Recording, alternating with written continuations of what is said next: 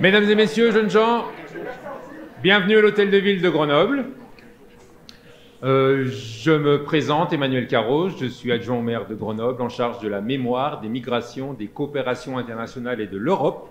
Je suis très heureux de vous accueillir euh, ici. Euh, salutations protocolaires pour commencer. Je vais commencer par vous, lycéens et lycéennes. C'est vraiment pas tous les jours qu'on reçoit autant de, de, jeunes personnes dans cet hôtel de ville. Et donc, merci à vous d'être là. Merci à vos enseignants, à vos enseignantes, chers collègues. C'est également un, plaisir de, vous accueillir. Euh, je salue euh, déjà l'équipe, sans qui rien n'est possible. Je salue euh, Pia, je salue Rosanne, je salue Lydia, je salue Juliane, je salue Renaud qui bosse à la ville de Grenoble et qui voilà, font tout ce travail. Et souvent, j'oublie de les citer. Donc, merci à vous toutes et à vous tous. Euh, et je salue euh, Rosane Charpin, qui est présidente de l'association Dauphiné-Savoie de l'IHEDN. Je salue Catherine Astol, Guillaume Jacques, qui sont inspecteurs d'académie IPR. Je salue Mokhtar Dia, qui est président de l'association des Sénégalais de Grenoble. Anthony Guillon, euh, qui est docteur en histoire militaire. Anthony Guillon, de nouveau, on m'a marqué deux fois. Julien Farguetas, le chef d'escadron Jean-Olivier Aubolt, j'ai aussi l'ONAC également qui est là avec l'ONAC Isère, l'ONAC euh, Clermont-Ferrand également qu'on a, a reçu. Je salue Philippe Barrière, sans que rien n'est possible, qui est caché quelque part. Euh, voilà en tout cas, euh, voilà en tout cas, j'espère que j'ai oublié personne, mais j'ai sans doute quelqu'un. En tout cas, vous êtes ici dans le salon d'honneur. Pourquoi le salon d'honneur? Il y a deux médailles dans ce salon qui se situent à droite de de la porte. Vous les verrez euh, sans doute tout à l'heure avant de vous rendre euh, à l'exposition Salle des mariages. La médaille, médaille compagnon de l'ordre de la libération. Seules cinq communes en France ont reçu de la main du général de Gaulle la médaille, euh, le titre de compagnon de l'ordre de la libération. Grenoble est une de ces cinq communes à côté de Nantes, à côté de l'île de Saint, à côté de Vassion-Vercors et de Paris. Grenoble a été honoré du fait de l'engagement des résistants et des résistantes de leur sacrifice également, euh, puisque des charniers ont été euh, retrouvés à, Grenoble. Il y a eu de nombreuses déportations. C'est pour ça que nous, sur ces deux années 2023, 2024, 2025, qui ont commencé au mois de novembre pour commémorer les 80 ans de la rafle de, euh, de la place Pasteur, euh, que nous avons une série d'actions qui nous emmèneront jusqu'au 8 mai 2025, 80 euh, ans de la victoire 45, c'est bien une victoire, ce n'est pas un armistice, victoire 45, euh, pour commémorer l'histoire, le souvenir des résistants et des résistantes, notamment de Grenoble. Donc, vous verrez sur toute cette année de nombreux événements, des pavoisements de rues, etc., pour nous rappeler qu'à l'heure où les derniers témoins vivants de, cette époque euh, disparaissent, il est euh, notre devoir, nous en tant qu'élus, en tant qu'enseignants et vous en tant que nouvelle génération, de perpétuer cette, euh, cette, cette mémoire. Donc je suis très heureux de cette journée de colloque aujourd'hui et ce soir. Monsieur le maire passera ici à 15h, juste avant que vous puissiez vous déplacer pour voir l'exposition de l'ONAC après à 16h. voilà, je ne vais pas parler plus longtemps. Merci à toi. Euh, de nous avoir euh, proposé ça. Rosen, on s'était rencontré l'année dernière et tout de suite, euh, tu as dit, bien sûr, l'IHEDN doit pouvoir participer aux 80 ans de la libération, et en lien, bien sûr, avec l'éducation nationale et puis avec l'association des, avec l'association des, Sénégalais de l'Isère, voilà, sur cette partie de l'histoire qui est parfois méconnue, trop souvent méconnue. Et en tout cas, rendons hommage à l'ensemble des résistants et des résistantes, à tous ceux qui ont combattu pour nous, dont dont euh, voilà, les, Sénégalais euh, dans les années 40. Merci à vous. Je te laisse la parole et passez un bon après-midi. Merci.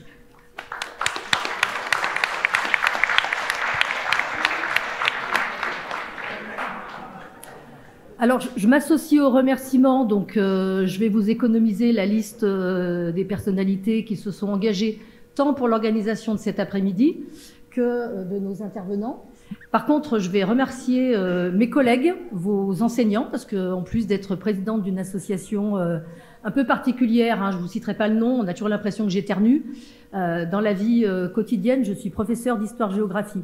Et je prends la parole pour vous dire à quel point je suis heureuse que nous ayons réussi à, réaliser cette, demi-journée, puisque cet après-midi et enfin ce soir, heureuse en tant que présidente d'une association dont une des missions est d'entretenir la mémoire et euh, de, réfléchir et de travailler sur les, questions de défense et de sécurité.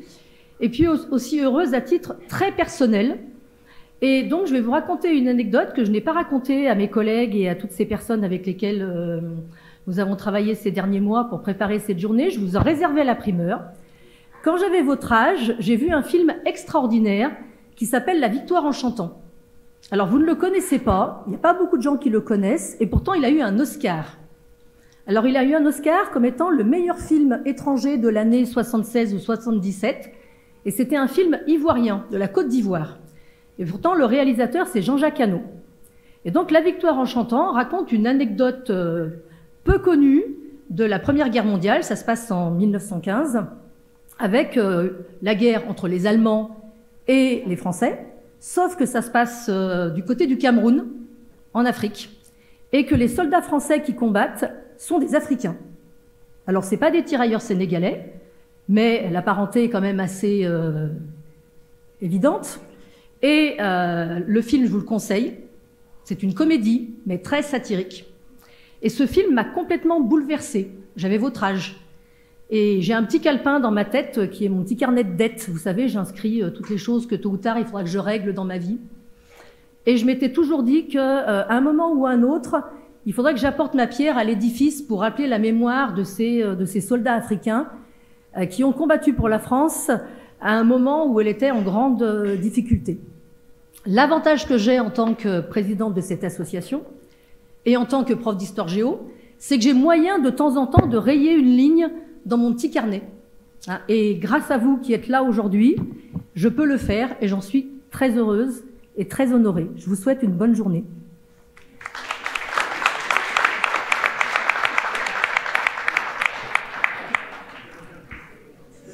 Catherine Estol, je suis inspectrice d'académie, référente académique mémoire et citoyenneté, et je m'exprime ici au nom de Madame la rectrice, euh, dont je vous prie de bien vouloir excuser l'absence. Le, la chose était notée dans son agenda et puis je trouve qu'il y a un impératif qui est tombé.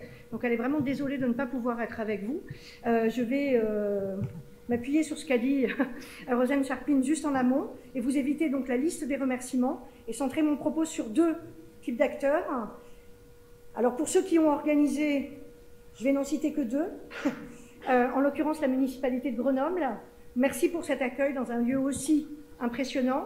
Merci pour tout le travail qui est fait dans une commune qui est effectivement compagnon de la libération en faveur du 80e anniversaire de la libération et de cette passation de la mémoire des combats qui ont pu être menés en 44-45. Puis deuxième acteur à citer absolument, l'Institut des hautes études de la défense nationale, l'IHEDN, ce mot avec lequel euh, Madame Charpin a peur d'éternuer lorsqu'elle le prononce, euh, parce que c'est vraiment la clé de voûte de l'organisation de ce qui a pu se faire ici euh, aujourd'hui.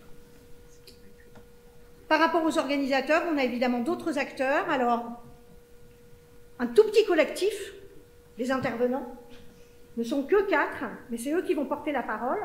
La parole du monde des armées, la parole du monde associatif, la parole de l'histoire, avec en particulier deux intervenants, Julien Fargetas qui, a centré son travail davantage sur le territoire ici, et puis Anthony Guillon qui va nous proposer une conférence euh, qui est euh, docteur en histoire, qui a soutenu sa thèse en 2017. Sa thèse est publiée euh, depuis 2022, si je ne dis pas de bêtises, centrée sur les tirailleurs sénégalais, avec un spectre qui est beaucoup plus large pour la thèse publiée, pour la version romanie de la thèse, que pour la thèse en tant que telle, puisque sauf erreur de ma part, l'ouvrage publié, on est depuis 1857 jusqu'à nos jours, donc autant dire que le spectre est très très large. Et puis face à eux, je voudrais surtout euh, vous remercier, vous, euh, parce que ce n'est pas si fréquent, effectivement, qu'on puisse avoir autant d'élèves impliqués dans un événement, et puis parce que je sais euh, de sources sûres à quel point vous avez travaillé dans l'urgence. Donc merci beaucoup. Vous avez travaillé avec vos professeurs qu'il convient de saluer sur cinq thématiques. Je sais que vous avez plein de questions à poser.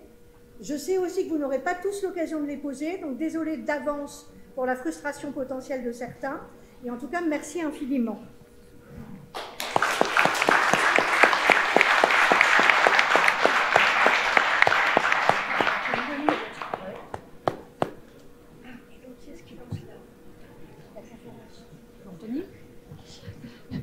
Bah écoute, c'est bon? Oh, C'est bon, M. Villon est là. On peut y aller. Allez-y. Pour combien de temps?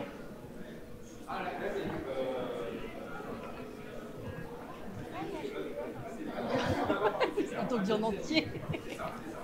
Des fois, je prends bien mon souffle. Non, non, il n'y a, a, pas de souci. Bonjour à tous. Je suis Mokhtar Dia, président des Sénégalais de l'Isère, une association qui a 50 ans d'existence. J'ai l'honneur de prononcer cette allocution au nom de la communauté sénégalaise et je voudrais en remercier M. Emmanuel Carroz avec lequel nous avons euh, vraiment une relation privilégiée, ainsi que M. le maire. Je voudrais saluer euh, les personnes qui m'ont précédé à ce pupitre, ainsi que les intervenants qui vont suivre. Euh, j'ai intitulé cette allocution Le tirailleur, cet ancien si contemporain. Pourquoi? Si ce n'étaient les tirailleurs sénégalais, nombreux comme des fourmis, braves comme des lions, je battrais la France en une demi-journée et je mettrais Paris dans une bouteille.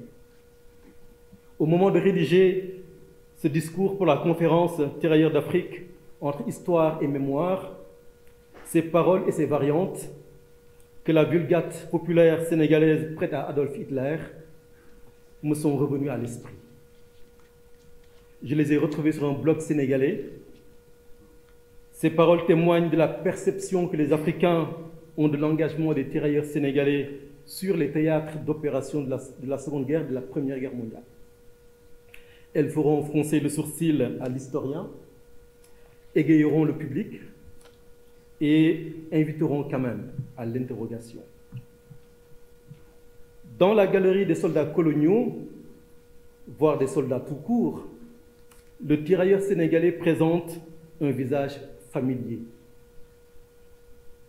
Comme un grand-oncle dont on entend parler depuis toujours, ou, pour rester dans la culture africaine, comme un ancien dont le souvenir ne s'estompe jamais. Il est algérien, tunisien ou sénégalais.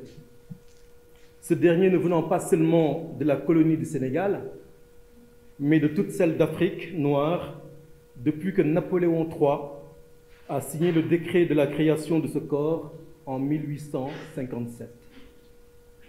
À Saint-Louis, capitale de l'Afrique occidentale euh, française, euh, où je suis né par ailleurs. C'est en quelque sorte ce tirailleur africain, sénégalais, le premier panafricain, mais incorporé à l'armée française. Il a participé à des conquêtes et des guerres, traversé des pays et des continents, charroyé des langues et des cultures.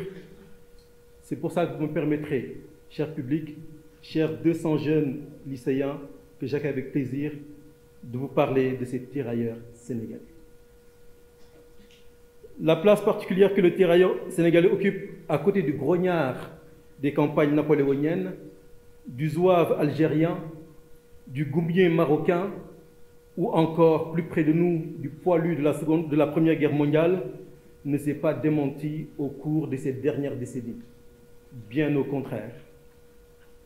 Un champ de recherche de plus en plus riche, dont témoignent les publications d'Anthony Guyon et de Julien Farguetas, ou encore d'Éric Desroux, des succès cinématographiques comme Camp de Tiaroy du Sénégalais Semben Ousmane, sorti en 1988, ou encore Indigène, et plus près de nous, le film éponyme Tirailleurs, sorti en 2022.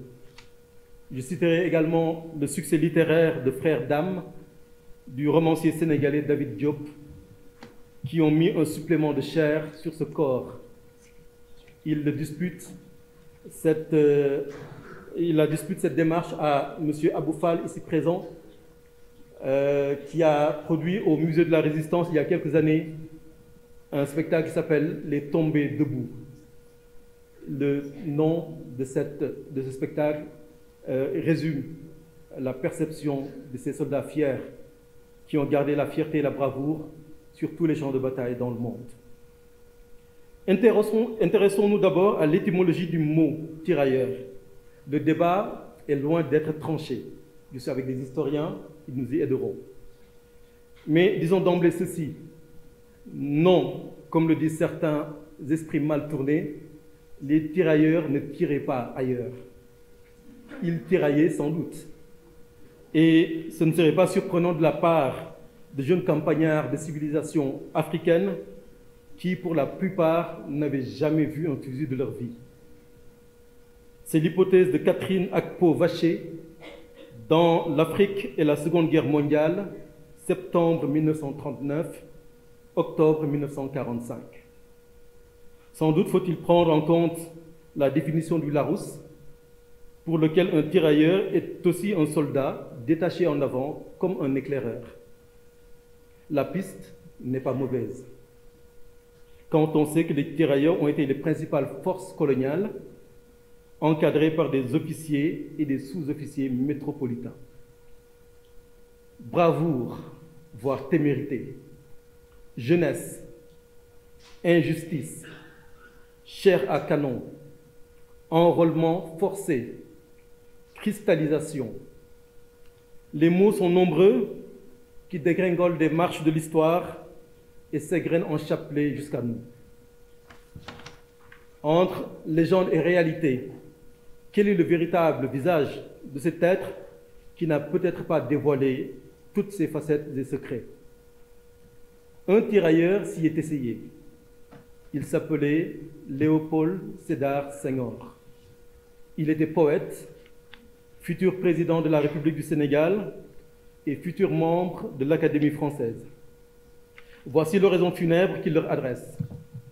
Vous, tirailleurs sénégalais, mes frères noirs à la main chaude sous la glace et la mort, qui pourra vous chanter si ce n'est votre frère d'armes, votre frère de sang? Je ne laisserai pas la parole aux ministres, la parole aux ministres et pas aux généraux je ne laisserai pas, non, les louanges de mépris vous enterrer furtivement. Vous n'êtes pas des pauvres aux poches vides sans honneur, mais je déchirerai les rires banania sur tous les murs de France. Léopold Sédar Senghor, poème liminaire, extrait des Hosties Noires, Paris, janvier 1940. On retrouve les tirailleurs sénégalais dans le chaudron de la Première Guerre mondiale. Le général Mangin les utilise comme chair à canon dans les batailles meurtrières de la Meuse et de la Somme, contraints, parfois forcés, mais aussi enrôlés volontaires dans les forces françaises.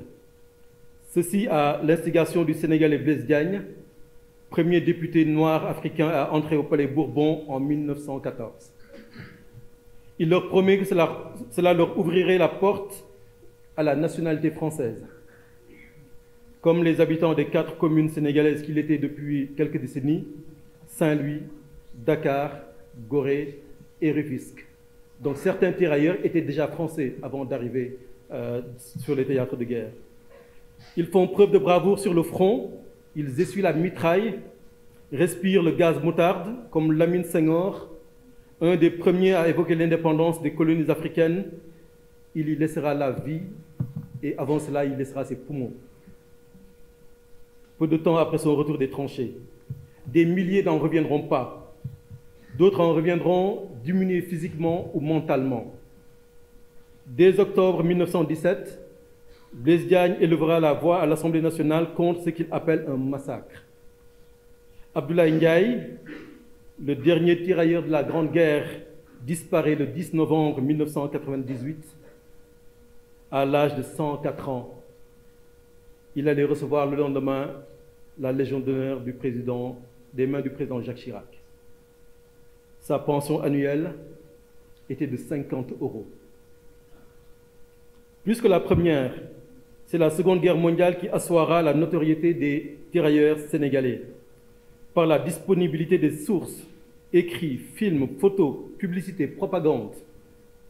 Dès les premiers jours de la guerre, à Chasselet, des soldats du 25e régiment des tirailleurs sénégalais bloquent au nord de Lyon, déclarée ville ouverte par le maréchal Pétain, l'avancée de la 10e Panzer Division, une unité blindée allemande.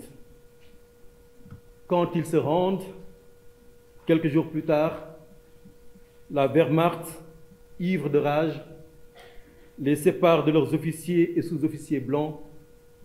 Ils sont mitraillés et écrasés par les panzers. Le pharmacien de la localité, M. Marciani, leur élèvera deux ans plus tard un cimetière, le Tata sénégalais de Chasselet. Il sera déclaré nécropole nationale en 1966. Les soldats d'Afrique noire constituent la majorité de la force des 6000 hommes qui tombent dans l'escarcelle de la France libre quand le gouverneur du Tchad, Félix Eboué, rallie la France libre en août 1940. Le général de Gaulle gagne, en sus d'un territoire stratégique, des hommes aguerris, artilleurs, fantassins, hommes du génie, tirailleurs. Toute l'Afrique équatoriale française passe progressivement sous la bannière des Français libres qui peuvent faire de Brazzaville leur capitale et le siège de leur radio, Radio Brazzaville, qui, d'après les frères Desjardins qui l'ont dirigée, était en 1943 la radio la plus puissante au monde. Sous la direction du capitaine et bientôt colonel Philippe de Haute-Cloque, dit Leclerc, une colonne avec une forte ossature de tirailleurs sénégalais remonte le continent depuis l'Équateur et percute les forces italiennes à, à Koufra, une oasis tunisienne. Ils l'enlèveront sans coup férir en dix jours, privant les pays de l'Axe d'une place forte et d'un relais aérien dans le désert. Pour l'historien Éric Desroux, que j'ai rencontré il y a une vingtaine d'années, c'est une armée de clochards héroïques, équipés d'un seul canon de 75, que Leclerc déplace sans cesse pour faire croire qu'il en a plusieurs. Ils font la guerre aux faisans, aux côtés des tirailleurs algériens et tunisiens et des goumiers marocains. Puis vient la campagne de Tunisie. 50 000 goumiers, 50 000 pieds noirs et quelques bataillons de tirailleurs sénégalais battent le général allemand Rommel. 20 bataillons de l'armée africaine subissent de lourdes pertes à Birakem. Ils laissent 2000 morts et 2600 blessés en trois jours à Oran et Casablanca. Ils contiendront les assauts des forces de l'Axe jusqu'au débarquement des forces anglo-américaines. Également, cette, opé cette, opération est également appelée Opération Torche et elle a eu lieu le 8 novembre 1942 en Afrique du Nord. Du 14 au 24 janvier 1943 se tient la conférence de Casablanca. Giraud, De Gaulle, Churchill et Roosevelt y participent. Les USA ont la lourde tâche de nourrir et d'équiper la nouvelle armée française de libération qui a été créée par la jonction de toutes les forces combattantes françaises, la deuxième division blindée. Il est placé sous l'autorité de Leclerc, promu général. Et c'est là que les choses se gâtent. Les tirailleurs sont marginalisés, voire ostracisés par les Américains, au prétexte que la deuxième division blindée est une armée blindée, alors que les tirailleurs sont des fantassins. La raison officieuse est que les États-Unis appliquent le ségrégationnisme dans leur armée. Ils ne goûtent que très peu de voir des hommes noirs en armes libérer une aussi grande nation européenne que la France, alors que leurs troupes noires sont cantonnées à des tâches d'intendance et de génie. Les historiens Claire Millot et Éric Deroux penchent pour cette explication. La deuxième division blindée embarque pour l'Angleterre. Un seul soldat noir en fera partie. Il s'agit du métis Claude Madembassi. Il est officier, Saint-Louisien, français, petit-fils et fils de tirailleurs. Leclerc et De Gaulle ne regimbent pas. En septembre 1943, les soldats d'Afrique du Nord, d'Afrique noire et des Pieds Noirs forment une division d'infanterie coloniale, la 9e division d'infanterie coloniale. Elle va libérer la Corse, qui est ainsi le premier département métropolitain libéré. Goumiers marocains, tirailleurs sénégalais, tunisiens et algériens vont s'illustrer en Sicile et dans le sud de la péninsule italienne, particulièrement à Monte Cassino. Le 4 juin 1943, ils font leur entrée à Rome. Dirigés par le général Delattre de Tassigny, troupes françaises, gommiers marocains, commandos et trois régiments de tirailleurs sénégalais conquièrent l'île d'Elbe au bout de 50 heures de combats acharnés. Cette victoire leur vaut enfin le respect de tous les alliés. Le 15 août 1940 a lieu le débarquement de Provence. À Toulon et Marseille, goumiers et tirailleurs sont en première ligne. Mais c'est bientôt l'heure de la désillusion. La réorganisation des troupes armées françaises, des forces armées françaises, l'amalgame conduit à un blanchiment des troupes de la première armée française. Mais sur le théâtre d'opérations européens, les maquisards, les résistants et autres volontaires français supplantent bientôt les troupes coloniales. De Gaulle et Leclerc oublient ces hommes qui ont donné leur sang pour une patrie qui n'était pas, pour la majorité d'entre eux, la leur. Le 25 août 1944, à la libération de Paris, le nouvel homme fort de la France n'a pas un mot pour eux. L'appel vibrant du 18 juin 1940 semblait bien lointain. Quand la première armée prend la direction des Vosges en octobre 1944, 10 000 à 15 000 soldats noirs sont retirés de la ligne de front et sont remplacés par des forces françaises de l'intérieur, les FFI et des maquisards. Démobilisés, ils seront amenés dans des camps de transit dans le sud de la France, notamment à Toulon et Fréjus. Quelques mois plus tard aura lieu le massacre de Tiaroy, un camp dans la banlieue de Dakar, là d'attendre leur solde pour rentrer chez eux, dans leur pays, qui ont pour nom le Soudan, la Haute-Volta, le Dahomey, le Congo, le Cameroun, car rappelez-vous-en, j'ai dit que les tirailleurs sénégalais n'étaient pas seulement sénégalais, ils venaient de plusieurs pays africains. Des tirailleurs demandent à être payés sur le champ avant de rentrer chez eux. Par une froide matinée de décembre 1944, ils sont mitraillés, accusés de mutinerie. Cet épisode douloureux a été ravivé par le film Camp de Tiaroy, qui en raconte les péripéties. Il est le point d'orgue de l'injustice faite aux tirailleurs sénégalais. La cristallisation de leur pension, intervenue en 1958, puis 59 et enfin en 1974, leur a alloué des pensions ridiculement basses.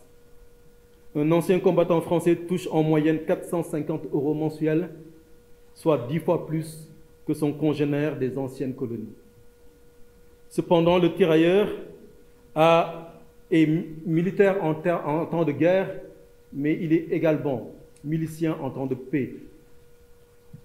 Et euh, Henri Brunswick rappelle dans Noirs et Blancs dans l'Afrique noire française que ce sont les troupes coloniales qui ont constitué l'essentiel des forces de colonisation française.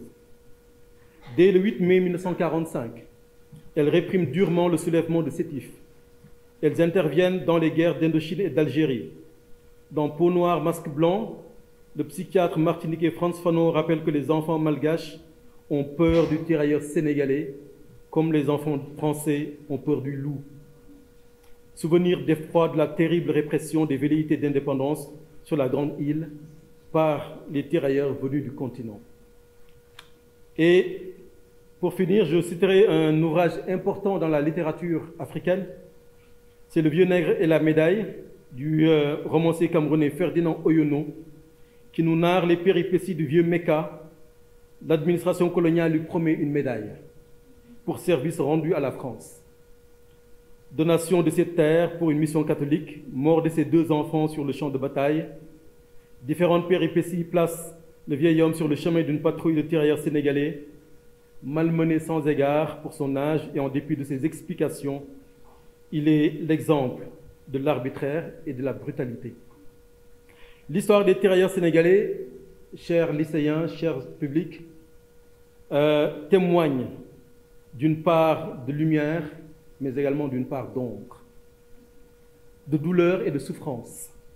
Il est encore vivace dans les esprits, plus en Afrique qu'en France, à cause de cette charge émotionnelle et de l'iniquité qui Mm, qui en a marqué son évolution et parce qu'il est rare pour une famille de ne pas compter dans son arbre généalogique un aïeul qui, en a fait partie. La recherche scientifique, le cinéma, la littérature prolongent ces faits historiques.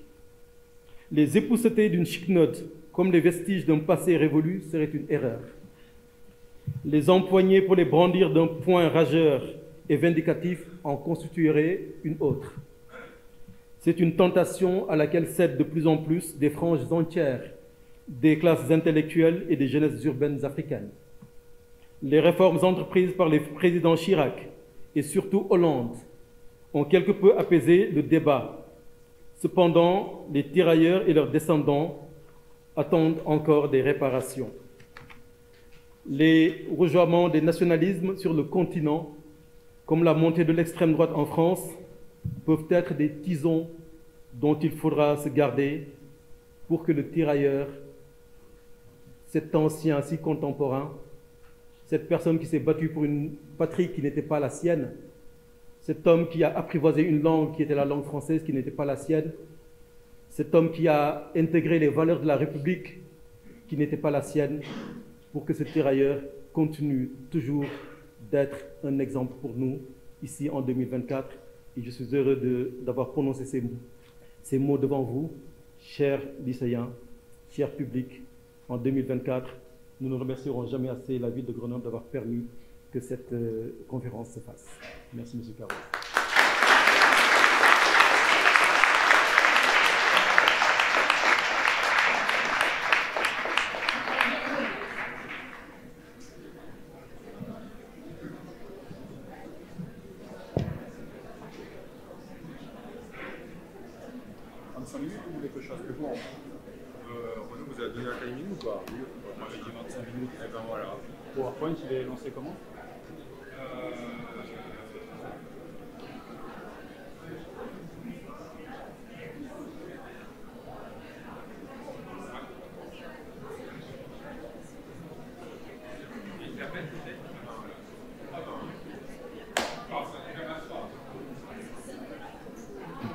Bonjour à toutes et à tous.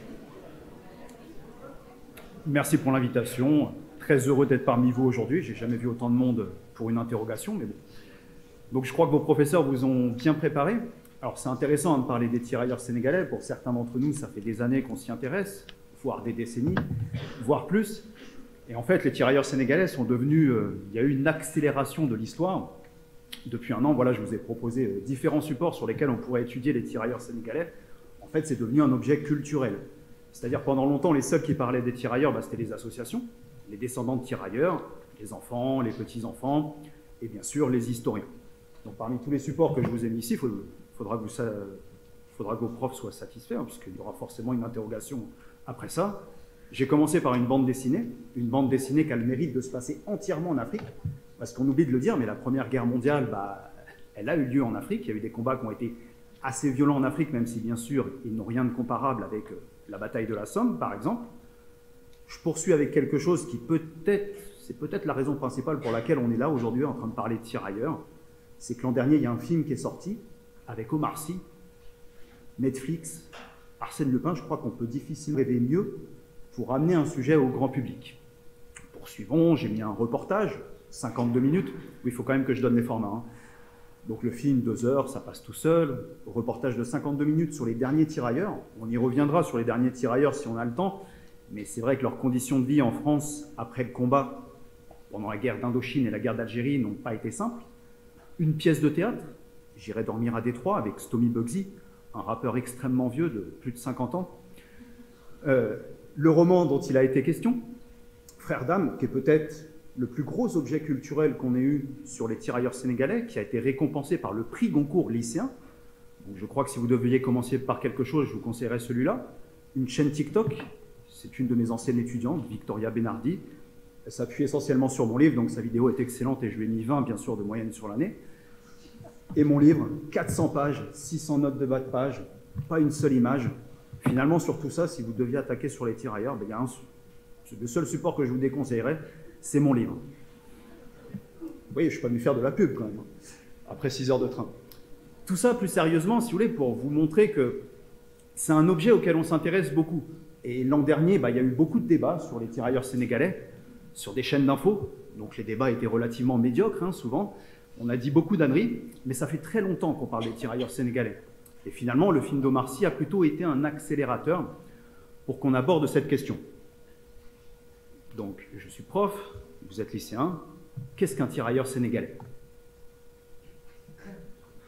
Quelle mauvaise préparation. J'en veux terriblement à vos profs. Donc un tirailleur sénégalais, ça a été dit tout à l'heure, n'est pas forcément sénégalais. J'ai pas le PowerPoint derrière, euh, à côté de moi, mais bon, vous connaissez parfaitement la, carte de l'Afrique, bien sûr. Donc si vous voulez, on prend les deux grands espaces de l'Afrique subsaharienne qui sont sous l'autorité de la France, l'Afrique occidentale française. Vous partez du Sénégal, c'est-à-dire à, l'ouest, contre l'Atlantique. Vous allez jusqu'à la frontière entre le Tchad et le Soudan. Perdu personne, hein Et ensuite, vous partez sur l'Afrique équatoriale française, c'est-à-dire vous partez du nord du Tchad et vous allez aller jusqu'à la République démocratique du Congo. C'est-à-dire, pendant un certain temps, les tirailleurs sénégalais peuvent englober tous les hommes de ces espaces. Ma comparaison sera complètement vocale. Monsieur l'inspectrice, monsieur l'inspecteur, bouchez-vous les oreilles et ne dites rien à vos collègues de Nice. Mais c'est comme si en fait on avait créé un corps, des tirailleurs portugais, et que dedans vous avez des Finlandais, des Chypriotes. Donc il faut bien voir que dans ce corps d'armée, on ne se comprend pas. On ne parle pas toujours la même langue. Donc déjà on ne comprend pas le français, mais on ne se comprend pas entre soi. Il n'y a pas forcément de solidarité entre les tirailleurs sénégalais. Donc pour ces hommes-là, si vous voulez, le corps a été créé en 1857, donc sous Napoléon III. Au début, leur fonction, c'est d'aider l'armée française. L'armée française a commencé à mettre le pied en Afrique, c'est la fin de l'esclavage. On recherche de nouvelles manières de gagner de l'argent on va se rabattre sur l'arachide, le caoutchouc. Il faut protéger ces, ces, espaces, et là on est vraiment au Sénégal, et donc on va créer ce premier corps, à peu près 500 hommes, qui vont servir de supplétifs à l'armée française. Au fur et à mesure, les effectifs augmentent. Pourquoi On avance de plus en plus en Afrique. On a besoin d'hommes qui connaissent le terrain. Donc, si vous voulez, dans un premier temps, les tirailleurs sénégalais, mais dans un premier temps, ils ne s'appellent pas uniquement sénégalais. Mais bon, on va, on essayer de simplifier quand même. Donc, vont rester sur le continent africain. Il y a des guerres de conquête, hein, c'est ce qu'on appelle la pacification, mais ça ressemble plutôt à de l'occupation. Et donc, si vous voulez, au fur et à mesure, ces hommes montrent qu'ils font de bons soldats aux côtés de l'armée française, donc ils vont être utilisés à Madagascar. C'est la première fois, si vous voulez, qu'on envoie ces hommes hors du continent. Et très important, avant la Première Guerre mondiale, on va les envoyer au Maroc. Pas par la voie terrestre, évidemment, on passe par la voie maritime. Et là, on commence vraiment à réfléchir. Il y a cette idée de les utiliser, de les employer en Europe pour la Première Guerre mondiale, puisqu'on a une grosse faiblesse par rapport à l'Allemagne. C'est très très simple. On a à peu près 38 millions d'habitants. L'Allemagne en a 56, 57 millions selon les estimations. Donc on a un fort déficit démographique. Et on va pouvoir s'appuyer sur les soldats du Maghreb, sur les soldats d'Afrique, sur les soldats de Madagascar et également sur les soldats indochinois. Dans une moindre mesure, ces hommes peuvent aussi travailler dans les usines. Vous avez dû voir que la Première Guerre mondiale est une guerre totale. Donc, si vous voulez, dès 1914, dès septembre 1914, voire même août, puisque certains vont venir du Maroc, certains étaient déjà au Maroc, on a des tirailleurs sénégalais qui sont présents en France. Les premiers combats ne sont pas glorieux. C'est assez compliqué, on est dans une guerre qui est très différente. On a des jugements qui sont pour le moins assez expéditifs, on parle de médiocrité, même si les unités sont assez différentes. Par exemple, ceux qui ont combattu au Maroc ont déjà une expérience du fait militaire. Il s'avère que dans tous les cas, ces hommes vont traverser toute la guerre. La Première Guerre mondiale est une hécatombe côté français. Donc, si vous voulez, à partir de 1919, on va s'appuyer encore plus sur les soldats, pas uniquement africains, malgaches, indo-chinois. Et voilà, cette histoire va s'enraciner sur le temps long, toujours avec cette possibilité d'utiliser ces hommes hors de leur espace de vie. Encore une fois, hein, si vous regardez du Sénégal jusqu'au Gabon, on a quasiment 4000 km. Donc imaginez euh, même si vous restez en Afrique occidentale, vous pouvez être très loin de, votre espace de vie. Ce que vous avez en violet ici, alors, le cercle, c'est les hommes qui ont été recrutés pour combattre. Et ce que vous avez en violet, ce sont tous ceux qui sont partis combattre en Europe pendant la Première Guerre mondiale. On a dû vous expliquer qu'une des choses les plus importantes pendant la Première Guerre mondiale, c'est le courrier. Si les soldats français tiennent, c'est parce que les services de poste font le nécessaire pour qu'on puisse échanger du courrier régulièrement avec ses familles. Tout ça, côté africain, vous ne l'avez pas. Imaginez la logistique qu'il faudrait. Donc, si vous êtes de la famille d'un tirailleur, vous pouvez recevoir trois billets. En bonne santé, point. Évacué à l'hôpital, point. Décédé, point. C'est les seules nouvelles qu'auront la famille. Imaginez pour ces soldats à quel point c'est dur sur le plan du moral. On peut parler des combats, etc. On peut revenir sur certaines expressions. Mais ce qui est dur aussi, c'est de combattre loin de chez soi, dans une guerre qui est assez terrible, dans un climat continental. Hein. Ce n'est pas la douceur du climat euh, méditerranéen. Bref, pour... donc, on parle de soldats. Donc, qui dit soldats dit des batailles relativement importantes. Je vous les simplifie. Hein. On fait toute l'histoire. Hein. Je ne fais pas que la Deuxième Guerre mondiale. Donc, la grande. Quand même, celle-là, vous allez m'aider. La grande bataille de la Première Guerre mondiale, côté français. Verdun, évidemment. la somme est plus importante, mais Verdun, vous avez raison. Donc, Verdun, vous avez dû voir la difficulté de la bataille. À la fin de l'année, au mois d'octobre, le général Mangin, avec des tirailleurs sénégalais, parvient à reprendre le fort de Douaumont. C'est-à-dire, voilà, là, ils ont réussi leur première victoire. Donc, c'est l'image que vous avez en haut à votre gauche. Et pour les années suivantes, ils vont être employés avec un petit peu moins de, de scrupules, entre guillemets. C'est-à-dire, là, on hésitait sur leur qualité, etc.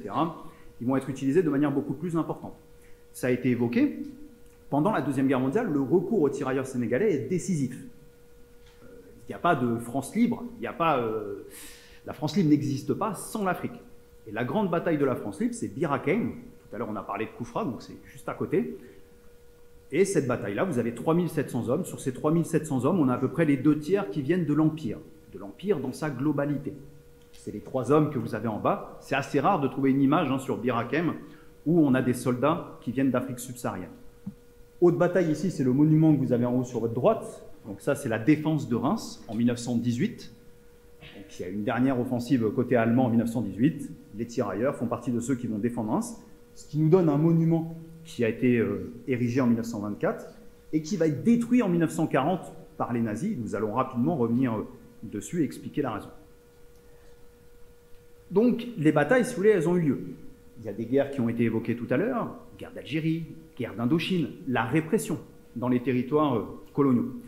Aussi évidemment, comme tout cela, il y a ces victoires, évidemment, qui dit victoire dit euh, des pertes humaines qui sont assez conséquentes, mais aussi il y, a des, il y a des épisodes tragiques. On a évoqué le recrutement. Il y a deux façons de rentrer dans l'armée. Vous êtes volontaire, donc ça on peut le faire n'importe quand, mais vous doutez bien, si vous voulez, qu'au moment de la Première Guerre mondiale, on va demander de plus en plus d'hommes. Et évidemment, tous les villages ne vont pas forcément accepter de fournir plus d'hommes, puisque, bon, surtout si vous êtes envoyé en Europe, ça devient relativement compliqué. Il y a plein de façons d'éviter un service militaire. Affronter l'armée française n'est pas la chose la plus intelligente qu'il y a à faire. Il y a vraiment un décalage quand on rentre dans les espaces et l'armée française est beaucoup plus redoutable dans les espaces coloniaux. Vous pouvez par exemple fuir. C'est plus dur en France, mais dans les espaces africains, on a assez peu de moyens, si vous voulez, pour vous rattraper. Autre solution, vous présentez des hommes faibles, des hommes qui sont plus petits, des hommes qui sont malades, etc. Et les hommes forts, vous les cachez. Ou sinon, et c'est ce qui va se passer en 1915-1916, l'affrontement. On passe par la révolte. Et là, en 1915-1916, c'est-à-dire, vous l'avez dit tout à l'heure, Verdun, on doit faire face à une révolte en Afrique, une révolte parce que tout simplement une partie des villages refuse de fournir le nombre d'hommes nécessaires. C'est une phase extrêmement violente, qui certes n'a rien à voir avec ce qui se passe dans les tranchées, mais là, vous voyez, les hommes qui doivent être envoyés en, Europe refusent. Tout à l'heure a été évoqué le massacre de Tiaroy, à la fin donc de la Deuxième Guerre mondiale, 1er décembre 1944. Vous avez un autre massacre, qui, toute une série de massacres qui sont commis en mai-juin 1940 par euh, l'armée allemande sur les prisonniers. Donc normalement, un prisonnier intouchable, hein, c'est les règles du droit international. Donc on va séparer les soldats noirs, et dans certains lieux, hein, autour de Lyon, euh, dans le bassin parisien, on va les isoler, et donc pour certains, on va être fusillés, parfois dans des, dans des circonstances relativement atroces. Mais mon collègue Julien Fargetas vous expliquera ça bien mieux que moi. Donc, si vous voulez, dans cette histoire, vous avez tout. Vous avez la dimension héroïque, vous avez la dimension tragique, mais à titre personnel, ce qui m'intéresse le plus, c'est la vie des soldats, c'est-à-dire plus que le combat, à titre personnel, hein, évidemment, il faut tout pour faire un monde, on se complète tous les uns des autres, c'est plus qui sont ces hommes finalement derrière. Et on se rend compte très rapidement, dès le Maroc, que ces hommes ne supportent pas l'hiver. C'est-à-dire, en fait, ils deviennent tout simplement incapables de combattre. Maladie pulmonaire, engelure au pied. Donc on a pris la décision dès le Maroc de les évacuer des zones de combat, et ça, ça va se systématiser pendant la Première Guerre mondiale. C'est-à-dire d'octobre à avril, ça va être le cycle qu'on va essayer de suivre autant que faire se peut, ces hommes sont évacués, alors pour une partie en Gironde, mais la plupart du temps vers le Var et, et les Alpes-Maritimes, pardon. Et donc pendant six mois, alors pendant six mois, vous êtes censé être formé à la guerre. Une bonne formation repose sur un excellent officier, sur d'excellents sous-officiers. Mais à votre avis, on les garde pourquoi On les garde sur les zones de combat. Donc généralement, on va plutôt mettre les hommes l'encadrement le plus médiocre, le moins motivé dans ces camps, ce qui veut dire que la formation, par exemple, à Fréjus-Saint-Raphaël, on s'entraîne à quoi? À creuser des tranchées. Je ne sais pas si c'est très utile dans le cadre du combat, il faut savoir creuser une tranchée, mais bon. Et donc ces hommes, si vous voulez, bah, pendant six mois, ça va être marqué par exemple par l'ennui. On apprend à parler français, il y a des associations à côté qui vont aider. Par exemple en achetant des instruments de musique, en trouvant des activités sportives. Et donc pendant six mois, voilà, vous avez une espèce de sociabilité entre guillemets qui se met en place dans ces camps. On noue des contacts avec la population fréjussienne. Pour certains, on pourra échanger du courrier avec certaines personnes plus tard. Mais si vous voulez, donc, c'était Hubert Lyotet qui disait ça pour le Maroc, les tirailleurs sénégalais ont été des soldats saisonniers. J'aime pas l'expression, hein, évidemment, euh, ce qui n'empêche de participer à des batailles terribles. Par exemple, en avril 1917, une des batailles les plus violentes, c'est la bataille du chemin des dames, et les tirailleurs sénégalais, ici, sont employés en masse. Autre point, quand on parle des tirailleurs sénégalais, pour les plus vieux d'entre vous, plus de 20 ans, vous connaissez forcément cette image banania, sur laquelle on va revenir, mais on a créé, on est sur une société évidemment hein, qui a été forgée par le racisme. Et au lendemain de la Première Guerre mondiale, on a cette idée, pour occuper l'espace rhénan, c'est une des sanctions envers l'Allemagne, d'utiliser ce qu'on appelle les soldats issus des colonies. Donc dans un premier temps, on envoie essentiellement des Marocains et des Malgaches, mais il est question d'envoyer des tirailleurs sénégalais. Les tirailleurs sénégalais n'y arriveront pas. Hein. Mais il va se déclencher une campagne internationale terrible qui commence en Allemagne, qui va être relayée au Royaume-Uni, aux États-Unis, la honte noire. C'est-à-dire tout le monde est d'accord, même côté français. Les mouvements féministes, les socialistes, Henri Barbus, Jean Longuet, on condamne. Non, non, non, on ne peut pas envoyer des soldats noirs dans l'espace rhénan. Ces hommes violent les femmes allemandes, c'est terrible. Tout est faux, évidemment, c'est de la propagande. Regardez un petit peu hein, ce qu'on a refait en bas de l'image. Brutalité, bestialité, égalité. Évidemment, on a revu la devise française les Français sont des sauvages, ils bafouent toutes les règles, on ne peut pas envoyer ces soldats sur place. La campagne, elle est terrible, puisque déjà, ça repose sur un mensonge, ils ne sont pas encore arrivés sur place, et surtout, ça va avoir des effets délétères. Question un million d'euros, mais à quel homme ça ne va pas plaire? Allemagne, années 20-30, c'est assez dur, hein Adolf Hitler.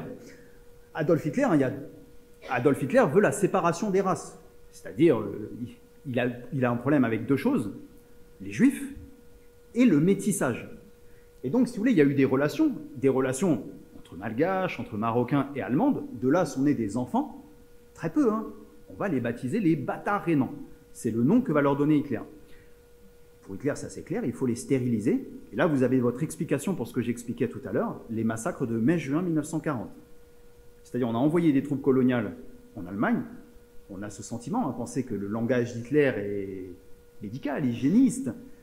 Il s'est passé quelque chose en Allemagne, et donc on va se venger. Et donc, vous voyez, un des points les plus intéressants quand on travaille sur les tirailleurs sénégalais, c'est cette question de l'image. L'image est très, très, très importante. Et donc, beaucoup d'entre vous ont sûrement vu cette image-là. Donc, Banania, en 1915, c'est une entreprise qui, généralement, dans ses publicités, va plutôt passer par l'imagerie coloniale, la Martinique, etc.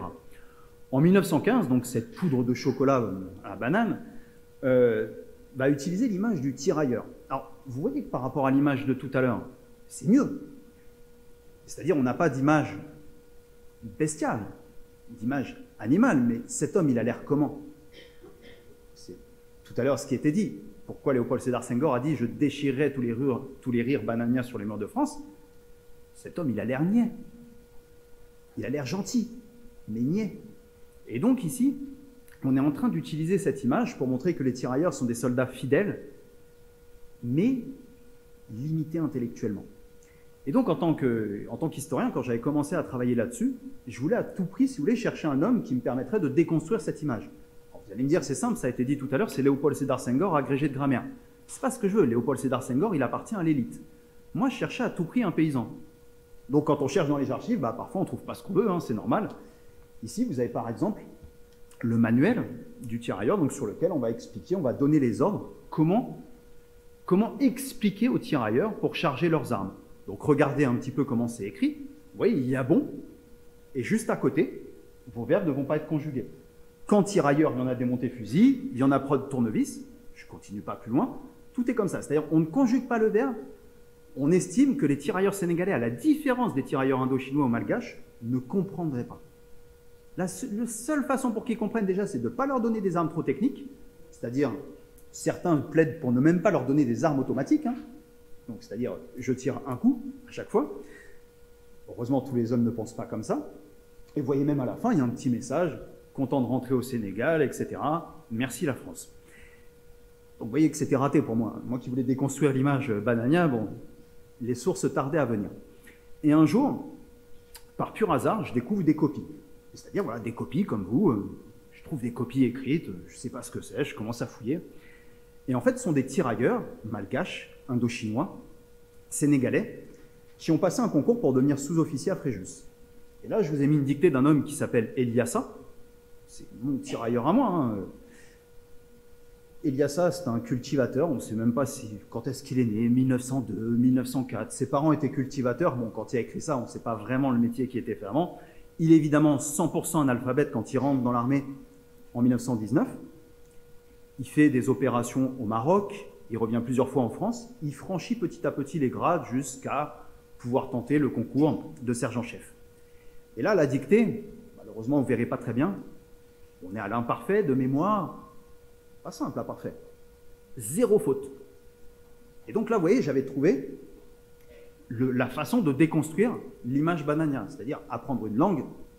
Je crois que vous en apprenez deux euh, par semaine, c'est pas simple.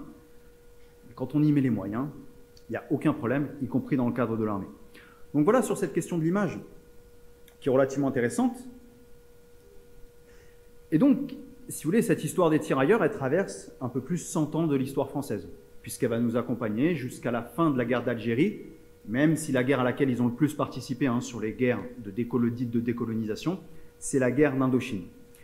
Et ces hommes, si vous voulez, à la fin de la guerre, il y a l'indépendance qui arrive dans leur pays, donc les sommes d'argent qu'ils vont toucher vont être gelées, c'est-à-dire elles sont relativement ridicules, et surtout elles n'augmenteront plus. Le travail de reconnaissance, il a toujours été recherché, c'est-à-dire il y a toujours eu des associations, des enfants, des petits-enfants de tirailleurs, très très tôt, hein. on ne nous a pas attendu. Il y a eu des historiens qui se sont euh, penchés sur la question, mais c'est vrai que ça a avancé très très très lentement. Je vous dirais bien que ce sont les travaux d'historiens qui ont permis d'avancer, mais pas vraiment. Il y a eu deux moments d'accélération, à chaque fois c'est le cinéma indigène, ça a été dit tout à l'heure en 2006, film de Rachid Bouchareb qui va se concentrer plutôt sur les tirailleurs du Maghreb, et évidemment l'an dernier, le film avec Omar Sy, donc Tirailleurs. Et si vous voulez, entre ces deux dates, qu'est-ce qui s'est passé? On a dégelé les pensions, on a permis aux derniers tirailleurs, une poignée, hein, on parle d'une quarantaine d'hommes, c'était l'une des dernières mesures du mandat de François Hollande, d'obtenir la nationalité française, qui était quelque chose de très dur, de très lourd sur le plan administratif. Et le jour de la sortie du film Tirailleurs, si vous voulez, pour, pour toucher votre pension, qu'est-ce que vous devez faire? Vous devez vivre six mois et un jour en France. Si vous y vivez moins de six mois, vous ne pouvez pas toucher votre pension. Donc ces hommes devaient rester là six mois pour toucher une pension qui ne leur permettait pas de recevoir toute leur famille. Euh, ce qu'on connaît le mieux, hein, c'était à, Bondy, en banlieue parisienne. Et inversement, donc si vous voulez, s'ils restaient trop longtemps en Afrique, ils ne pouvaient pas le toucher. Et Emmanuel Macron, donc c'est la décision qu'il a prise le, le jour de la sortie du film Tirailleurs, ces hommes ont pu rentrer. Ils ont pu rentrer et toucher la totalité de leur pension. Certains ont fait le choix de rester en France, d'autres sont définitivement rentrés on parle d'hommes qui ont passé les 90 ans. Donc voilà pour cette histoire à très très grandes enjambées. Donc on est ici pour parler de la libération de Grenoble, mais vous voyez que l'histoire des tirailleurs sénégalais finalement s'inscrit sur un temps long. C'est une manière, pour ceux d'entre vous qui êtes en première, de certes comprendre la Première Guerre mondiale, ceux qui sont en terminale, la Deuxième Guerre mondiale, et pour tous finalement ce qu'a été la relation de la France avec ses territoires impériaux, l'Asie, mais évidemment ici on parle surtout de l'Afrique. Et donc, vous voyez que ces hommes, au-delà de la dimension combattante, il y a une dimension qui est culturelle, qui est politique, qui est assez importante à saisir. Et donc, voilà, tout ce que je vous ai montré au début, tous ces bandes dessinées, ces romans, etc., le roman, il fait 176 pages. C'est vraiment très accessible et je vous invite vraiment à découvrir ces choses pour en apprendre un petit peu plus sur la complexité euh, de l'expérience de guerre de ces hommes. Je vous remercie.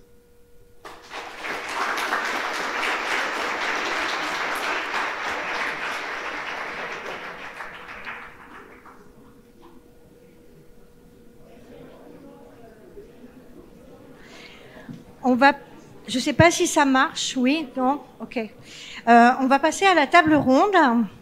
Donc cette table ronde, euh, elle a été conçue euh, avec des thématiques qui nous ont été proposées par le conseil scientifique de l'exposition. Le rôle de Philippe Barrière a été rappelé tout à l'heure, mais je le refais à nouveau. Donc il y a cinq thématiques qui ont été proposées. Une première thématique, alors vous les connaissez par cœur, pardon, mais je les rappelle essentiellement à destination de nos intervenants, parce qu'ils n'ont pas autant travaillé que vous sur les thématiques, donc c'est bien que on, le leur, on les leur rappelle. Il y a une première thématique sur la place de l'armée d'Afrique, une seconde sur les politiques et les droits des combattants, une troisième sur la question des circulations, des mobilités, des migrations, une quatrième sur les itinéraires, les parcours de vie, en fait, comment on peut incarner cette histoire, et enfin une cinquième sur la question des mémoires et des représentations. Comme chaque établissement, chaque classe, chaque groupe a plutôt travaillé sur telle thématique ou telle autre, euh, je pense que c'est d'abord les élèves de Vaucanson qui vont avoir l'occasion de s'exprimer, alors si possible en posant au moins deux ou trois questions en même temps, de façon à ce que les intervenants puissent établir entre eux euh, qui prend la main, qui répond, euh, etc. Merci. Donc, on va tenter de relever le défi d'animer une table ronde à 200. Et pour commencer, euh, je laisse la parole à des élèves de Bac Pro Ciel du lycée Vaucanson de, de Grenoble pour les deux premières questions. Bonjour, je m'appelle Aaron, je suis au lycée Vaucanson. Et euh, la première question, c'est comment les tirailleurs communiquaient avec les autres soldats?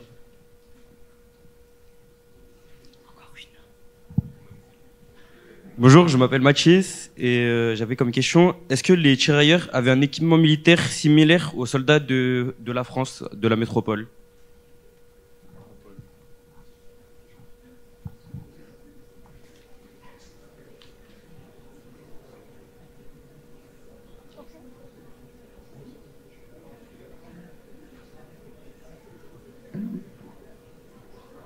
Allez, on va, on va répondre à deux voix. Donc, euh, je vais me caler sur la question de la langue. Donc, tout à l'heure, on l'a dit, hein, les tirailleurs ne se comprennent pas entre eux. Donc, si vous voulez, il n'y a pas de règle préétablie. Ce qu'il faut trouver, si vous voulez, c'est le langage dominant au sein de cette unité. Donc, par exemple, si vous prenez le film Tirailleurs, c'est le Peul. Mais pourquoi le Peul? Parce que beaucoup des acteurs, euh, Bamar Khan, euh, Omar Sy, etc., parlaient le Peul. Ça peut être le Wolof, il y a le Bambara qui va dominer euh, sur une période. Mais ce qu'on recherche le plus souvent à faire, si vous voulez, c'est de passer par un intermédiaire. Je trouve que ça, c'est assez bien montré dans le film Tirailleurs. Le fils d'Omar Sy, en fait, va servir d'intermédiaire parce qu'il parle le français, il parle le peul, et il arrive à se faire comprendre des autres. Mais on voit que de la façon dont il se fait comprendre, il n'est pas toujours en train de parler. Donc la question de la langue, si vous voulez, c'est quelque chose de très pragmatique. Je laisse mon collègue euh, pour la question des armes. Alors l'équipement, eh ben, en fait, ça dépend où on est. Si on est en Afrique, euh, le soldat autochtone, c'est le soldat africain, donc lui, il va avoir un équipement plus léger. En revanche, le soldat européen, lui, va avoir un équipement plus adapté au climat. Et vice-versa, en Europe, quand même, les, soldats vont avoir un équipement relativement similaire. Il y a peut-être quelques, quelques détails qui vont changer dans la couleur des uniformes, des choses comme ça. Une particularité, notamment pour les soldats africains, ils sont équipés de ce qu'on appelle un coupe-coupe une espèce de machette. D'accord? Et notamment, ça va leur servir, c'est quelque chose qu'ils amènent d'Afrique, mais c'est quelque chose qui va aussi leur servir comme arme blanche sur le champ de bataille. Et Anthony vous a parlé tout à l'heure des, des, massacres de 1940. Les soldats allemands, notamment, vont se focaliser sur cet instrument parce que pour eux, c'est vraiment le symbole de la sauvagerie de ces soldats. Et généralement, quand ils trouvent un, soldat africain qui le capture en 1940, en particulier équipé de ce type d'armement, euh, le soldat africain va, souvent en pâtir. Hein. il va avoir des, représailles et on trouve aussi des témoignages, des rapports où les soldats allemands vont s'emparer des coupes-coupes des tirailleurs et vont les frapper avec en guise de représailles. Donc pour résumer, oui, les équipements sont similaires, hein, que ce soit dans l'armement, dans l'uniforme. Il y a des particularités, mais ça c'est dans toute l'armée française euh, de manière identique, notamment le, tirailleur sénégalais, vous allez le reconnaître grâce à sa chéchia. Vous avez vu, bah, vous avez l'image encore à l'écran du tirailleur euh, Banania. Donc la chéchia, c'est ce fameux euh, toc, cette toque rouge qu'il a sur, le, sur la tête. Et évidemment, quand on est au front, eh ben euh, ce rouge va se, changer en kaki pour des raisons de, camouflage. Mais voilà, c'est vraiment des choses qui se différencient à la marge. Je crois que les élèves du lycée des Eaux Claires, hein, en tout cas certains, avaient aussi des questions euh, sur cette première thématique, place et rôle de l'armée d'Afrique. Donc,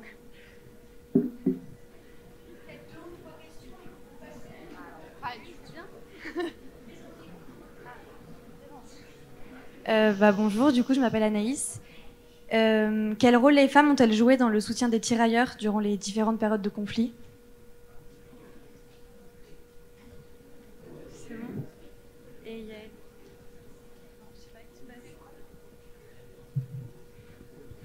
Alors, alors, il y a... Ah, Bonjour, je m'appelle Nello. Euh, j'ai une question, c'est comment ont été accueillies les troupes coloniales par les troupes françaises?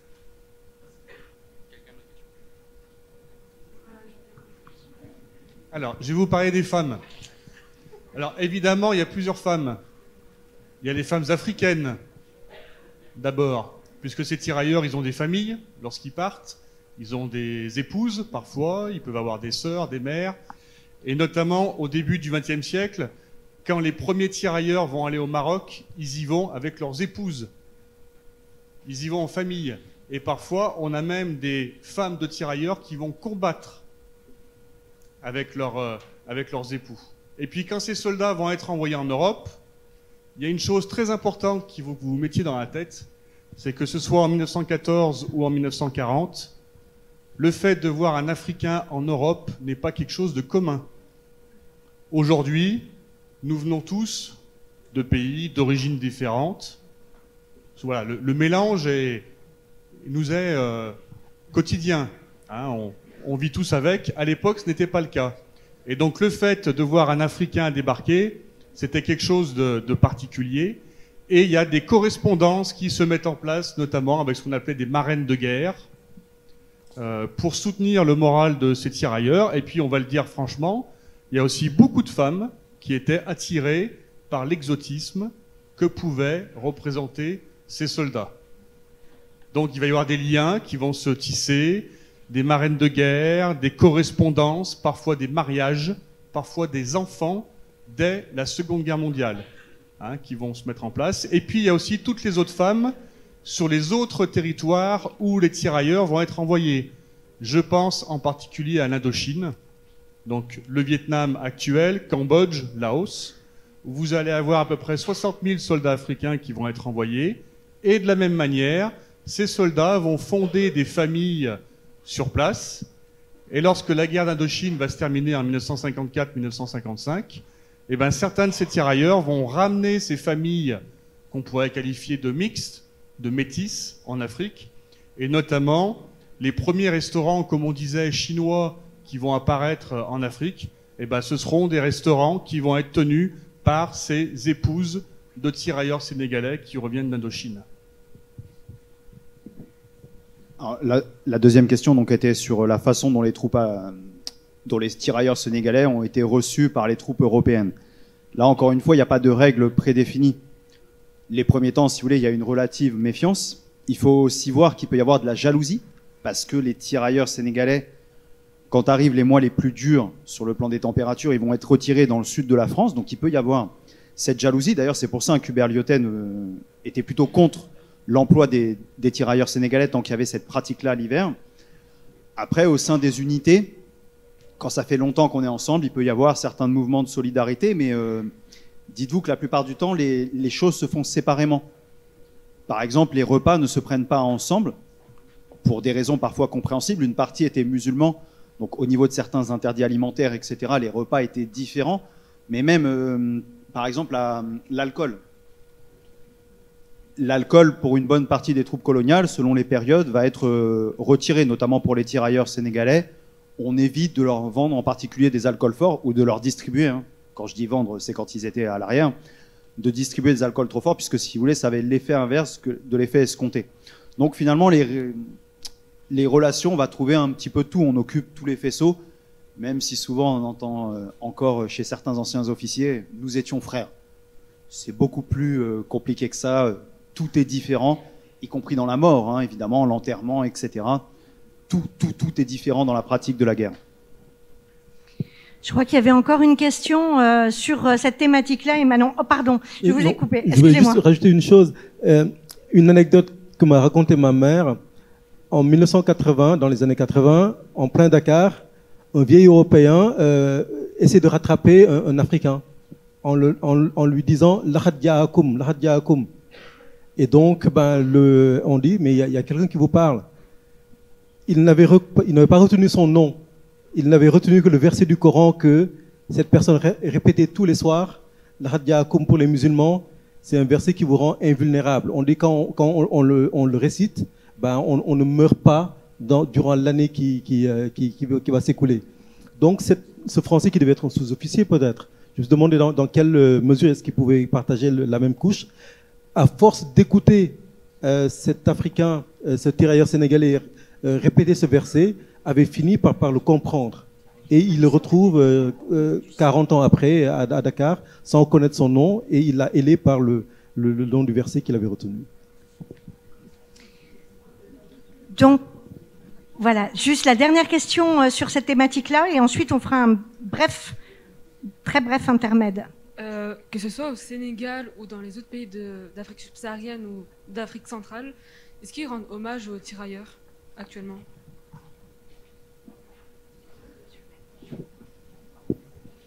Oui, je, me permets d'y répondre en, même temps. C'est-à-dire que moi, je suis rentré travailler au Sénégal il y a, une vingtaine d'années.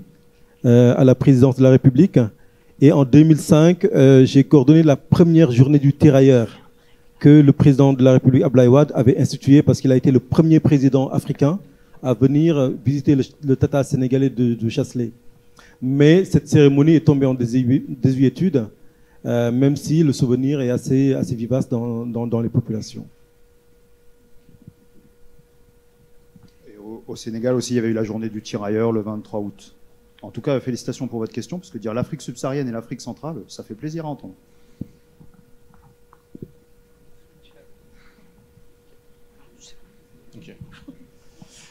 Alors moi je vais faire l'intermède. Bonjour à toutes et à tous. Un, tout petit mot pour euh, saluer nos intervenants. Donc je sers d'intermède, messieurs. Bonjour. Euh, un tout petit mot donc euh, pour vous accueillir en tant que maire de Grenoble dans ce salon d'honneur. Vous avez été accueilli tout à l'heure par Emmanuel Carroz, notre adjoint à la mémoire et aux relations internationales et aux migrations. et pour vous dire que c'est d'abord une année très singulière pour Grenoble, évidemment, 80 ans de la libération. C'est l'occasion, en fait, sur trois ans, de s'inspirer euh, à la fois du courage qu'ont eu des gens extrêmement différents, qui ont eu des formats d'engagement extrêmement différents, qui ont eu euh, le geste qui les a fait basculer euh, a été très différent. Parfois c'était un petit détail, le refus de voir monter un drapeau allemand dans leur village. Parfois c'était juste qu'ils connaissaient des gens qui s'étaient engagés en résistance. Parfois c'est qu'ils refusaient le service de travail obligatoire. Euh, parfois, ils étaient euh, alignés et radicalement contre le fascisme. Donc, euh, beaucoup de parcours différents, beaucoup aussi de d'origines différentes. Bah, c'est ce qui vous est présenté aussi aujourd'hui. Merci encore aux intervenants sur les tirailleurs sénégalais mais également un, ouvrier polonais qui a fait exploser la, caserne de Bonn, que vous fréquentez peut-être dans d'autres conditions aujourd'hui. mais donc c'est aussi des actes de bravoure et euh, ces actes de bravoure, elles sont pour nous, dans cette année de, 80 ans, euh, l'occasion de se dire, bah, c'est aussi une source d'inspiration pour nous aujourd'hui, dans un monde qui semble très incertain, qui semble parfois inquiétant, euh, qui peut être inquiétant aussi pour vous, jeunes et générations qui arrivent, comme il l'est déjà pour nous, engagés en politique et essayant de, voilà, de faire bifurquer un peu le, ce gros paquebot qui semble aller dans le mur. Mais pour vous dire qu'il y a une source d'inspiration. Et puis aussi, cette mémoire, elle permet aussi de nous décentrer un peu de, nous-mêmes et de se dire, bah voilà, on a des générations au-dessus de nous qui, ont, qui se sont engagées et c'est grâce à elles qu'on vit dans un monde libre aujourd'hui en France. Et, donc nous avons aussi à euh, perpétuer cette transmission pour les générations à venir et pour les enfants que vous aurez. Donc euh, voilà, merci d'être venu, merci à l'éducation nationale aussi de, ce travail partenarial. Et euh, vous pourrez, si ça vous a intéressé, bah, tout au long de cette année 2024 et de l'année 2024, de 25, retrouver plein de, de, conférences, de réflexions sur euh, la mémoire, sur ce que c'est être résistant aujourd'hui, sur de quoi cherche-t-on à se libérer, enfin bref, énormément de réflexions très riches. Et vous avez un, programme qui est porté par euh, la ville de Grenoble, mais en coopération avec beaucoup de, gens, euh, qui euh, se veut accessible et ouvert à tous. Donc saisissez cette, cette chance. Et je vous laisse à votre après-midi. Merci encore d'être venu et de poser toutes ces questions. J'en ai entendu 3-4 voilà, à la fin, mais merci.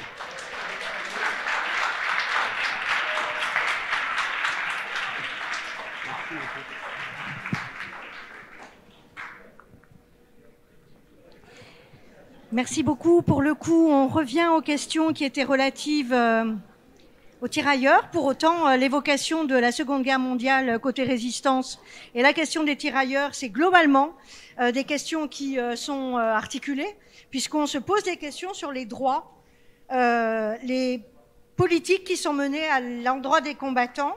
Et là, pour le coup, c'est les élèves du lycée des Eaux Claires aussi, mais je crois que ce sont des élèves qui font la spécialité euh, histoire géo, géopolitique, sciences politiques, qui ont plus travaillé là-dessus. Euh, parce que on a essayé de répartir un peu les choses. Donc trois, quatre questions groupées, s'il vous plaît, et donc vous vous faites circuler le micro euh, entre vous. Et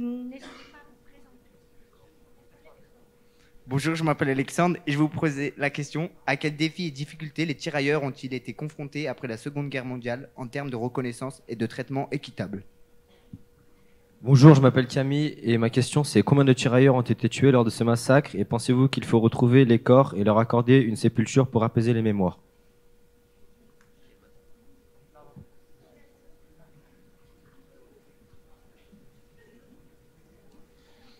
Et euh, donc euh, pourquoi la République n'a-t-elle pas tenu sa promesse envers les tirailleurs sénégalais et pourquoi la, reconnaissance euh, dont vous avez parlé avait été aussi longue?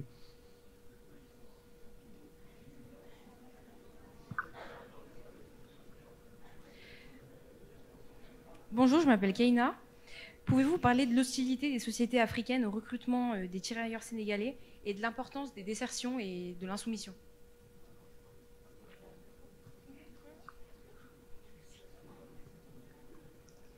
Donc la salve est terminée. donc c'est à vous de bien retenir les questions qui vous ont été posées et de savoir globalement dans quel ordre et comment vous y répondez. Merci. Alors, on va commencer par les droits. 90-95% des soldats africains qui vont combattre pour la France, que ce soit durant la Première ou la Seconde Guerre mondiale, ne sont pas des citoyens français. Monsieur Dia l'a dit, il y a quatre communes au Sénégal où les, les Africains qui naissent sont citoyens, mais ils sont extrêmement minoritaires, ce qui fait que la majorité n'est pas citoyen français, et donc ces soldats n'ont pas les mêmes droits que les soldats qui sont recrutés, par exemple, à Grenoble ou, ailleurs, et qui vont combattre. Et cette différence va subsister jusque dans les années 1950, avec un, gros effort qui va être mené à partir de 1945-1946, notamment par les parlementaires africains on va avoir des députés, des sénateurs africains qui vont se battre pour obtenir l'égalité des droits entre soldats d'origine française et soldats d'origine africaine. Et donc ça, ça va aboutir dans les années fin des années 1940, début des années 1950. Et puis euh, l'État va quand même s'apercevoir au sortir de la Seconde Guerre mondiale que euh, ces combattants africains n'ont pas été forcément bien euh, traités à leur retour, que ce soit à leur retour en 1918 ou par la suite. Et donc l'armée en particulier va aller à la rencontre de ces soldats, c'est ce qu'on appelle la mission Liger, du nom du, de l'officier qui commande cette mission. Et donc ils vont parcourir tous les territoires africains qui sont euh, sous euh, possession française à l'époque et ils vont aller régler toutes les questions qui ont trait aux, soldats. Et quand vous lisez les archives de l'époque, les situations sont parfois extrêmement pénibles. C'est assez pénible à lire de voir qu'on a laissé quand même euh, des malades, des invalides, sans traitement, sans pension, etc., durant des années, parfois durant des dizaines d'années. Et donc ça, l'État français va commencer à, rectifier le tir, si l'on peut dire, à partir des années 1946-1947. Donc vous voyez que le, le cheminement vers l'égalité a tout de même été long. Euh, juste la question qui portait sur le massacre, c'était le massacre de Tiaroy ou de mai-juin 40 J'ai pas compris?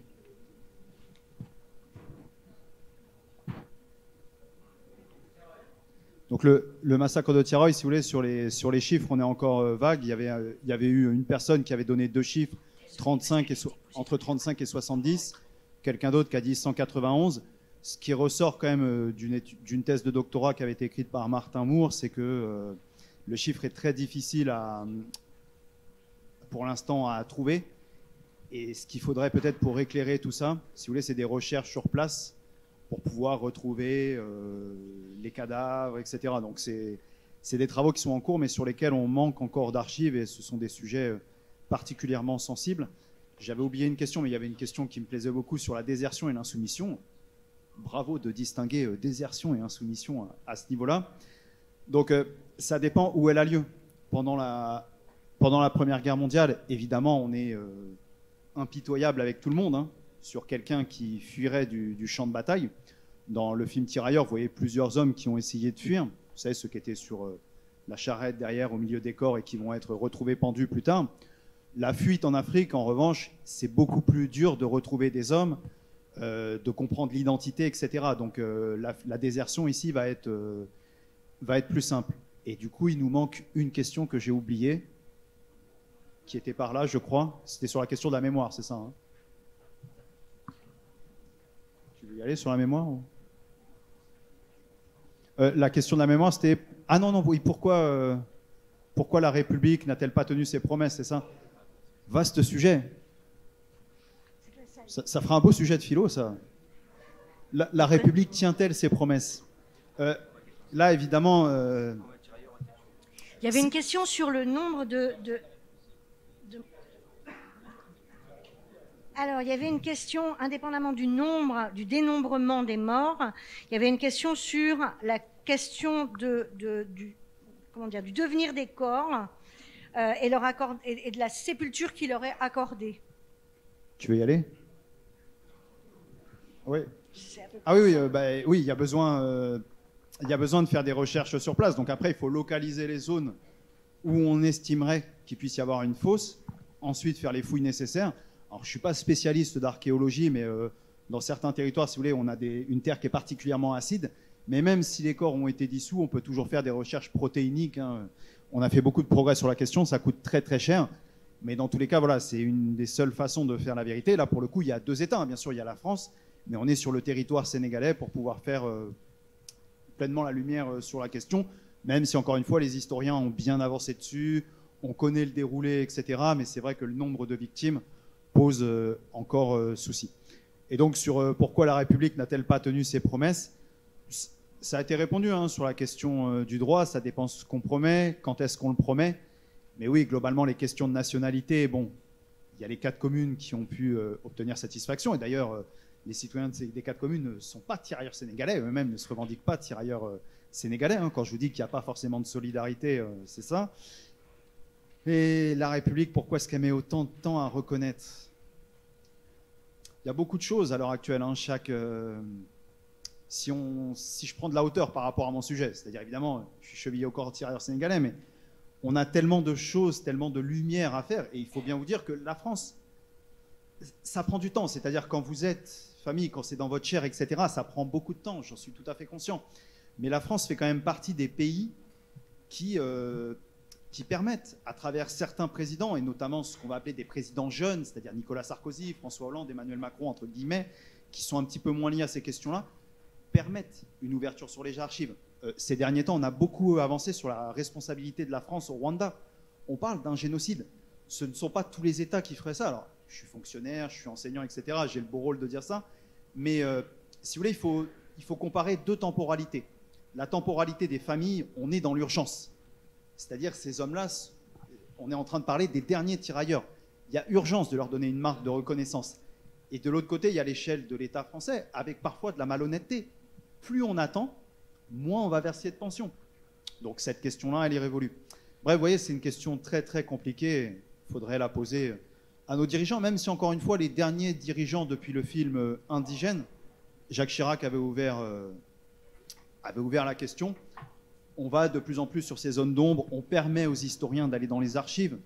Pensez à cette question-là quand même. Hein. Quand, Kennedy a été assassiné, Martin Luther King, on a fermé les archives jusqu'en 2027. C'est Donald Trump qui les a réouvertes. Hein. Donc euh, voilà, on a quand même la chance d'avoir des archives qui sont bien conservées et un accès pour régulièrement fréquenter les archives qui est quand même assez bienveillant. J'ai été long, désolé. Euh, donc sur la troisième thématique, euh, il y a plusieurs groupes d'élèves qui ont travaillé. La troisième thématique, c'était euh, la question des circulations, des migrations, des mobilités. Et puis juste une précision quand même, parfois il y a des questions qui se reprennent ou qui rebondissent les unes sur les autres, et c'est évidemment normal puisque les élèves n'ont pas travaillé tous ensemble. Et encore une fois, et je réitère mes remerciements, ils ont travaillé tellement dans l'urgence euh, que pour beaucoup, ils ont récupéré leurs questions juste avant d'arriver. donc voilà, c'est c'est pas très grave si ça se répète, euh, parce qu'il y a des questions qui font écho les unes aux autres. Donc sur ce thème-là, d'abord peut-être deux questions euh, des élèves de Madame Vella euh, au lycée des Eaux Claires, et puis ensuite deux, trois questions des élèves de Monsieur Duquesne. Ah, c'est pas les Eaux Claires, pardon. Ah, alors, je me trompe, du Grésivaudan. Voilà. Je, vous aurais compris qu'il y a des gens qui sont spécialistes des, des erreurs. Voilà, c'était moi. Bonjour. Bonjour, Gabriel euh, Sakirou euh, au LGM en première générale. Vous énonciez précédemment la différence entre les tirailleurs et les métropolitains dans la mort. Ainsi, est-ce que leurs corps étaient rapatriés dans leur région d'origine dans le cadre des deux guerres mondiales?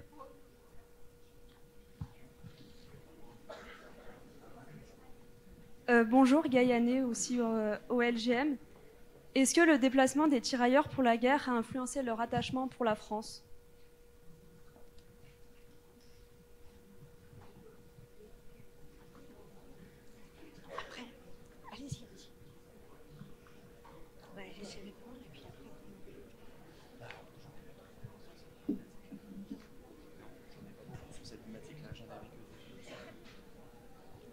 On y va?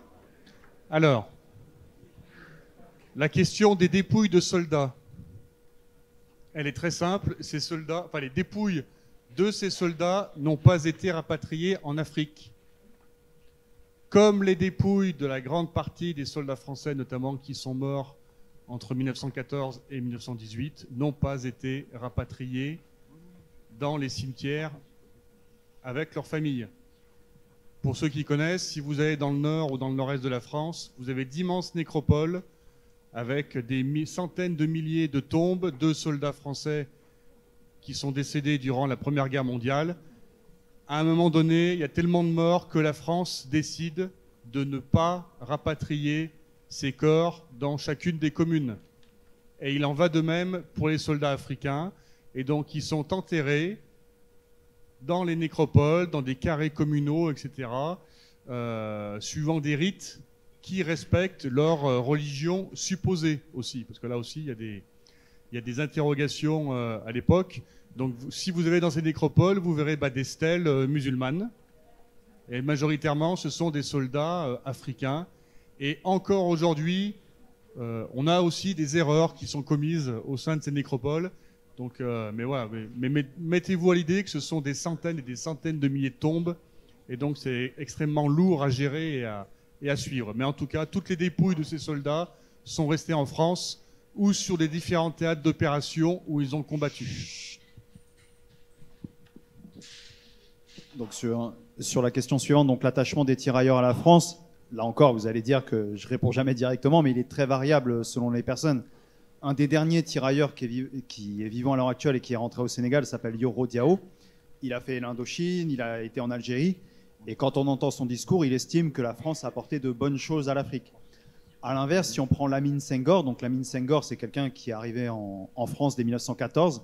Il a commencé à combattre en 1915 et il a reçu du gaz moutarde, donc euh, qui l'a fortement affaibli. Et de toute façon, il finira par mourir de ça en 1927. Et c'est quelqu'un, si vous voulez, qui a rejoint euh, la CGT, puis qui faisait les ouvertures de Jacques Doriot quand il était euh, communiste, et qui a développé un discours violemment anti-colonial. Donc, euh, il y a l'attachement déjà d'un point de vue au pays, et, il existe, hein, vous avez des dynasties de tirailleurs. C'est-à-dire, on peut retrouver sur trois générations le grand-père, le père et le petit-fils qui ont été euh, tirailleurs. Ensuite, il peut y avoir des attachements à des hommes, à des femmes. Lamine Senghor, dont je parlais, en fait, il est, il est reparti en Afrique pour obtenir la nationalité française en étant dans une des quatre communes. Et quand il revient, il se marie à Eugénie Cormont dans le Var. Donc, il va épouser une française. Ces relations restent. Le mariage, il n'est pas. euh, il reste quand même extrêmement limité. Mais voilà, dans tous les cas, il y a une expérience. Ce qui nous manque, si vous voulez, con- contrairement aux soldats métropolitains, c'est l'étude des anciens combattants. C'est-à-dire, c'est très dur de retrouver en Afrique. Est-ce qu'ils se réunissaient entre anciens combattants? Est-ce qu'il y avait une solidarité? On a quelques associations qu'on a retrouvées, mais surtout sur le Sénégal.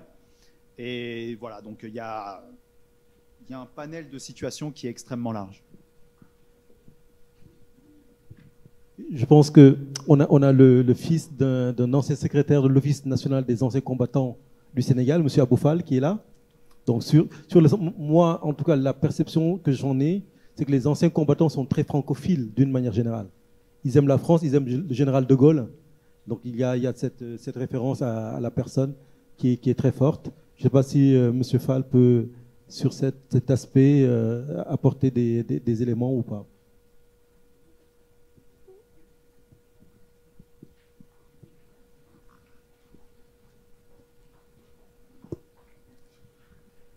Euh, merci.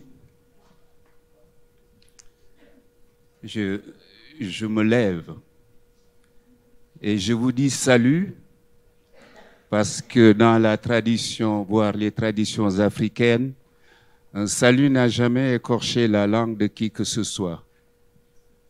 Je suis le fils de Moussa Fall, né le 2 juin 1896 et il arrive comme tirailleur sénégalais. Et je me souviens, enfant, quand il est revenu au Sénégal, je suis l'aîné de la famille. Il allait percevoir sa pension militaire et il me tenait par la main à la pairie de France. Et au retour, il s'arrêtait juste devant la cathédrale de Dakar.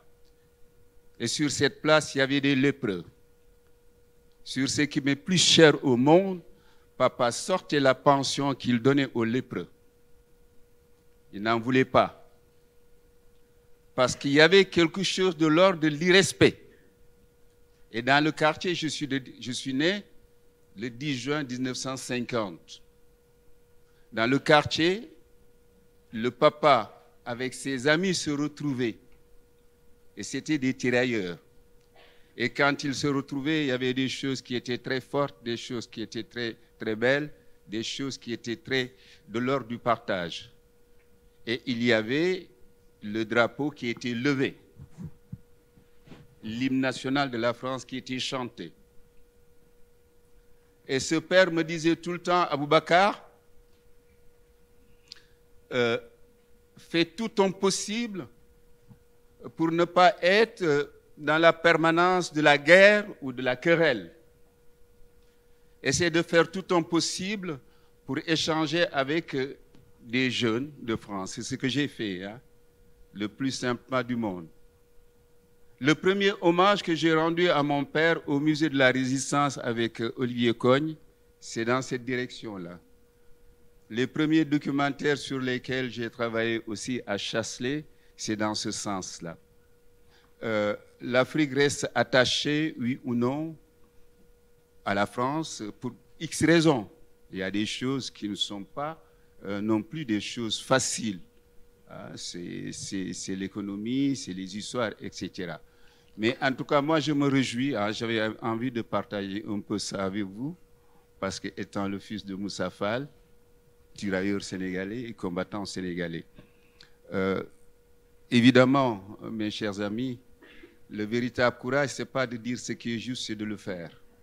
Il y a des choses qui ne sont pas encore euh, réparées et il est temps aussi d'y penser, quand même au niveau de l'histoire. Merci.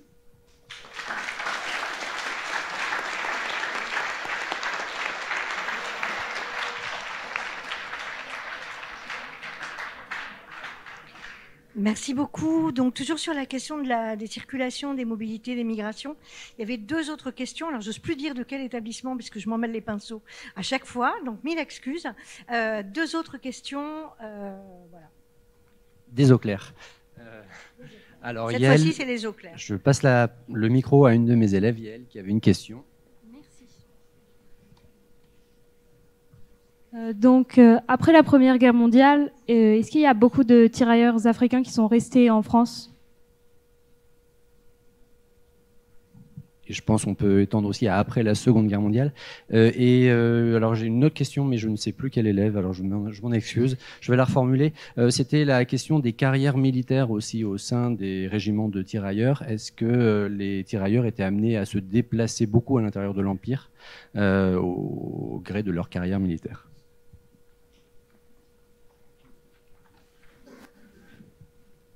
On se répartit les tâches, donc je vais, faire la première. Euh, après la Première Guerre mondiale, la consigne elle est assez simple, hein, elle est donnée par Clémenceau, tout le monde doit rentrer. On prévoit quand même quelques exceptions qui sont très très rares, c'est-à-dire si on a commencé à exercer un, un métier qui serait considéré comme particulièrement utile à la France, une relation avec une femme française, en sachant qu'il faut qu'elle soit prouvée, il va y avoir une enquête par le maire. Ce qu'on ne veut surtout pas, en fait, c'est que la femme française parte en Afrique. On préfère que l'homme africain reste en France plutôt que voir la femme française partir en Afrique. Euh, voilà au niveau des rares exceptions qui sont prévues. Après la Deuxième Guerre mondiale, c'est différent dans le sens où euh, on, part directement euh, sur l'Indochine. Et donc ici, on a un petit peu plus d'hommes quand même qui vont rester. Il y a une différence entre les deux conflits. Sur les carrières militaires, je laisse mon collègue. Juste un, petit complément pour la, Seconde Guerre mondiale. Les consignes sont les mêmes que pour la première. On ne veut pas garder les soldats africains en, France métropolitaine. Et je vous ai dit tout à l'heure qu'il y avait des, liaisons qui sont opérées, des mariages, des naissances. Donc vous imaginez la tragédie que ça a pu représenter pour, euh, pour certains. Et je vous livre ici un, un petit souvenir. Il y a quelques années, je participais à une émission radio euh, sur France Inter et je raconte le cas d'un tirailleur qui s'appelait Siméon Ekpazo, qui était originaire du, du Bénin. Et euh, je, raconte son histoire où euh, bah, il, reste en France durant la Seconde Guerre mondiale, il se marie, il a des enfants, et puis en 45, on l'oblige à rentrer en Afrique. Et donc sa famille française se mobilise pour le faire revenir, et donc je raconte tout ça à la radio, et il se trouve que la famille, les descendants de Siméon Ekpazo, écoutaient la radio à ce moment-là, donc ils appellent le standard, et ils nous disent bah, c'était notre père, et on ne connaissait pas cette histoire de famille. Donc après, on est resté en lien, et puis on a pu euh, re- recréer cette histoire familiale. Mais voilà, il y, a- ce retour qui est imposé. Et puis, euh, les, les circulations au sein de l'Empire, alors ça va être très, euh, très fluctuant. Il n'y a pas de consigne particulière, mais effectivement, vous pouvez avoir des Sénégalais qui vont se retrouver affectés en Afrique équatoriale. Vous pouvez avoir des Tchadiens qui vont se retrouver affectés en Guinée. Vous pouvez avoir des Africains subsahariens qui vont se retrouver affectés en Afrique du Nord, en Europe. Donc effectivement, il y a un mouvement euh, perpétuel au sein de ces, euh, de ces soldats. Et tout à l'heure, à, à 18h, je parlerai notamment des, euh, des tirailleurs sénégalais du, du Vercors. Et quand on regarde leur, leur parcours, on s'aperçoit que certains sont même allés plusieurs fois déjà en Europe, plusieurs fois en Afrique du Nord. Donc à chaque fois, c'est des parcours très particuliers et très personnels. Il y en a qui vont rester dans leur colonie euh, d'origine et qui ne vont jamais en bouger. Et puis il y en a effectivement qui vont circuler dans tout le, territoire colonial français. On va même en retrouver aux Antilles, on va même en retrouver en Guyane, à Madagascar, on l'a dit, en Indochine, etc. Donc effectivement, il y a un vrai mouvement parfois euh, à l'intérieur de l'empire colonial. Merci beaucoup de vos réponses. On continue, donc le temps file, il nous reste un peu plus de 10 minutes pour les deux derniers thèmes. Donc le, quatrième thème portait sur le- les questions d'itinéraire et de parcours de vie. Nous avons, eu, nous avons pu bénéficier d'un témoignage pour amorcer la réflexion des élèves. Je cède la parole immédiatement à des élèves de Bac Pro du lycée Ferdinand Buisson de Voiron, des filières de dessinateurs industriels et techniciens d'usinage, techniciens en réalisation de produits mécaniques, pour être précis. Euh, bonjour, je m'appelle Clément et euh, ma question était euh, à quel âge les tirailleurs peuvent-ils être recrutés et jusqu'à quel âge?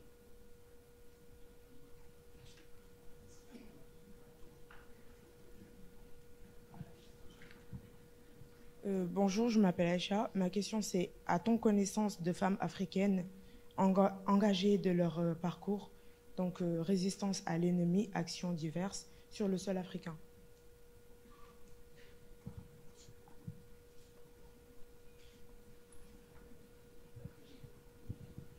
Alors, la règle dans l'armée française, généralement, quand on fait son service militaire, c'est 20 ans.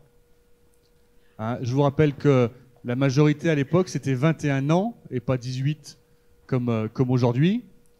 Mais il y a une réalité en Afrique, c'est qu'il n'y a pas d'état civil. Lorsque vous, vous naissez, on va vous déclarer en mairie et on sait précisément à quelle heure, à quelle date vous êtes né. À cette époque-là, en Afrique, ça n'existe pas. Et donc, lorsqu'on va recruter ces soldats, on le fait parce qu'on appelle des tournées de recrutement.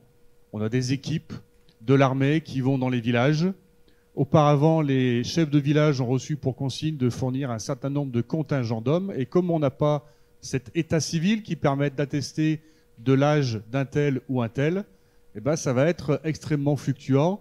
Et on va se baser sur des données euh, très empirique, hein, parfois un petit peu euh, amateurisme. On va regarder la dentition, on va regarder, euh, enfin voilà, vous voyez, c'est hein, c'est un petit peu. Euh, donc on peut avoir effectivement des gens de 18 ans, mais on peut en avoir des plus jeunes et puis en avoir aussi des plus vieux. Donc là-dessus, il n'y a pas de, il a pas de règle. c'est surtout l'état physique, la robustesse, la santé qui va permettre de dire à un tel si tu es BSA, bon pour le service armé, ou, euh, ou pas. Voilà, c'est surtout ça. Dans le film Tirailleurs, d'ailleurs, je crois que bon, Omar Sy, qui a un peu plus de 45 ans, euh, il me semble qu'il est recruté. On dit, on écrit qu'il a quelque chose comme 30 ans, hein, donc euh, sur l'âge, on peut allègrement manipuler. pour la question donc des femmes, alors des femmes célèbres, hein, les, les femmes de tirailleurs finalement sont un peu les oubliées de cette histoire dans le sens où on n'a pas de source sur elles. Ça a été dit tout à l'heure, hein, mais celles que l'on connaît, si vous voulez, jusqu'à la campagne du Maroc, elles peuvent suivre leur mari pour aller au Maroc, c'est-à-dire elles doivent partir en même temps que le mari. On a des photos, etc., où elles sont euh, dans les camps. Très souvent, ce sont des, photographies de, propagande. Mais les femmes, euh, les femmes africaines voilà, sont vraiment euh, absentes de, cette histoire. Et même d'ailleurs, pour les derniers tirailleurs, hein, dans, la, construction du couple, par exemple pour les tirailleurs dont je parlais, qui sont à Bondy, certains ont leur femme depuis toujours qui vit encore au Mali, au Sénégal et pendant longtemps, bah voilà, ils ont, vécu pendant six mois séparés l'un de l'autre. Je crois, que la question, la deuxième phase de la question, c'était la présence de femmes dans l'armée parmi les tirailleurs. Voilà, c'était Ah non non, présence de femmes, je sais pas toi Julien, non, non non, présence de femmes tirailleurs, non là c'est masculin hein, côté en fait, je, comprends votre question. C'est que on parle beaucoup de la présence des femmes dans la résistance française. Donc, est-ce que on a eu quelque chose de similaire? Si je surinterprète votre question, ce serait peut-être dans ce sens-là, mais non, hein, évidemment, par rapport au transport. En Afrique, après, il faudrait regarder. Euh, si vous voulez, pendant la Première Guerre mondiale, il y a un groupe sur lequel on manque d'éléments, ce sont les porteurs. Quand vous combattez en Afrique, par exemple pendant la campagne du Togo, la campagne du Cameroun, pour un soldat, il vous faut trois porteurs et la mortalité chez ces hommes, elle est particulièrement élevée. On manque vraiment de sources. Hein. C'est vraiment un livre que j'aimerais beaucoup écrire, mais faute de sources, c'est pas possible. Et voilà, ce serait la seule possibilité que je verrais, mais dans les sources, j'ai toujours vu uniquement des hommes parmi les porteurs. Donc désolé, on a beau chercher, euh, difficile d'écrire une, histoire des femmes euh, côté tirailleurs. On continue sur cette question de parcours et je laisse la parole aux élèves de Bac Pro Agora du lycée Édouard Herriot de Voiron. Bonjour, je m'appelle Émilie et ma question c'est comment ils ont réussi à s'adapter au froid?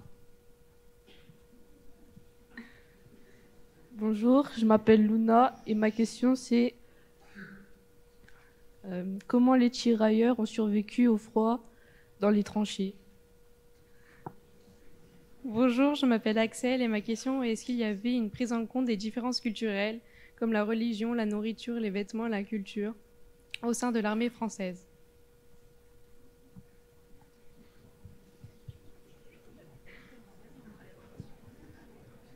Alors le froid, euh, j'ai presque envie de vous dire évidemment non. Et d'ailleurs l'armée française va vite le, constater et c'est pour ça que euh, les soldats africains, comme l'a dit Anthony, vont avoir un régime particulier, c'est-à-dire qu'ils vont aller au front d'avril à septembre ou octobre et après on les fait redescendre dans le sud de la France parce qu'on s'aperçoit justement que euh, bah, ont de très grandes difficultés à combattre dans le froid. Et combattre dans le froid dans une tranchée, mettez-vous à, leur place, c'est être statique, ne pas bouger toute la journée, être assailli par l'humidité, par le froid. Et ces soldats en particulier vont, connaître ce qu'on appelle le phénomène des pieds de tranchée. A des pieds humides qui vont gonfler dans les brodequins et qui vont geler. Voilà. Et donc on va avoir énormément comme ça de cas de d'engelure chez euh, chez ces soldats. Et à côté de ça, il faut rajouter toutes les maladies pulmonaires. Vous avez ces milliers de soldats qui vont décéder au combat, mais vous en avez autant qui vont mourir de la tuberculose, de la pneumonie, etc. Parce que bah, leur défense immunitaire, d'ailleurs, euh, même pour les Européens à l'époque, hein, ne sont pas ne aux pathologies qu'on peut retrouver dans le monde occidental. Donc l'armée va essayer de pallier à tout ça en les faisant descendre dans le sud de la France. Mais évidemment, euh, immanquablement, vous avez toujours des soldats qui vont, euh, souffrir de ces, de ces conditions climatiques qu'on peut même parfois retrouver en Afrique du Nord, hein, où on a des soldats qui peuvent décéder du froid. Donc ça peut, euh, voilà. Alors sur, sur le régime alimentaire, hein, euh, il faut vous dire que ce qui est le plus important pour les sous-officiers et les officiers, c'est le moral des soldats. Peu importe de quel soldat il s'agit. Donc n'imaginez pas que les tirailleurs sénégalais sont sous-alimentés, qu'ils n'ont pas de ressources, etc. Comme l'ensemble des soldats, on va réfléchir à leur régime alimentaire. Donc tout à l'heure, j'ai parlé de l'alcool. On se rend compte que par exemple, un litre de vin, ce qui était prévu pour certains poilus, c'est beaucoup trop fort. Et donc les soldats après ne sont plus en état de combattre. Moi, j'ai vu à l'arrière qu'on m'a privilégié la bière sur certaines euh, périodes. Désolé, je commence par l'alcool, je dois avoir un problème. Au niveau de l'alimentation, donc, euh, co- encore une fois, les tirailleurs ne sont pas tous musulmans. Mais on fait en sorte de respecter les rites religieux sur la question. On va, à la place de l'alcool, on peut augmenter les doses de thé, de café, augmenter le riz, les légumes. Et ce qui est assez intéressant, en 1916, entre le ministère donc, de l'armée et le ministère donc, des colonies, euh, on a autre chose à faire en 1916, mais il y a des échanges sur la noix de cola. La noix de cola, c'est quelque chose qui est très important en Afrique. La semaine dernière, j'étais au Cameroun et je rencontrais quelqu'un que je devais appeler Votre Majesté. Et J'ai dû manger une noix de cola, c'est très amer, mais bon, euh, par rapport au rituel, on la mange en entier, on dit merci. hein. Et si vous voulez, on s'est rendu compte que ça, ça avait des effets très bénéfiques sur le moral des tirailleurs. Et donc, on essaye de trouver un moyen de leur permettre d'avoir des noix de cola. Donc, on leur donne un stock pour trois mois au départ, en 1916. Et après, on trouve le moyen d'en acheter, mais il faut vous dire que une fois qu'on est en Europe, c'est extrêmement cher. Donc, on fait en sorte, euh, il n'y a rien de pire qu'un soldat qui n'a pas le moral. Euh, on parle même pas du bien des hommes ici, dans le cadre du combat, etc. Il faut que les hommes aient le combat euh, et le moral, pardon. Et ici, la question de l'alimentation, de ce que l'on boit, de comment est-ce qu'on comment est-ce qu'on occupe l'espace libre? Mais ça, ça vaut pour les soldats en tout temps. Peu importe là, encore les soldats à l'heure actuelle, qu'est-ce qu'ils font quand ils ne combattent pas? Qu'est-ce qu'ils font pour garder le moral? Quels jeux vidéo, quels livres, etc. Quel contact avec les familles sont des questions qui sont essentielles en tout temps, peu importe l'unité dont on parle. Pour terminer sur le cinquième thème, donc euh, vous avez parlé tout à l'heure de la question de l'image hein, et de son importance. Donc la question des représentations, de la mémoire aussi.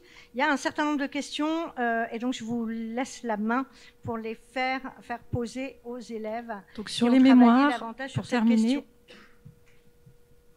Euh, bonjour, je m'appelle Lana et je voulais savoir euh, si l'histoire des tirailleurs sénégalais euh, avait été intégrée au programme scolaire dans les pays concernés et dans les établissements militaires.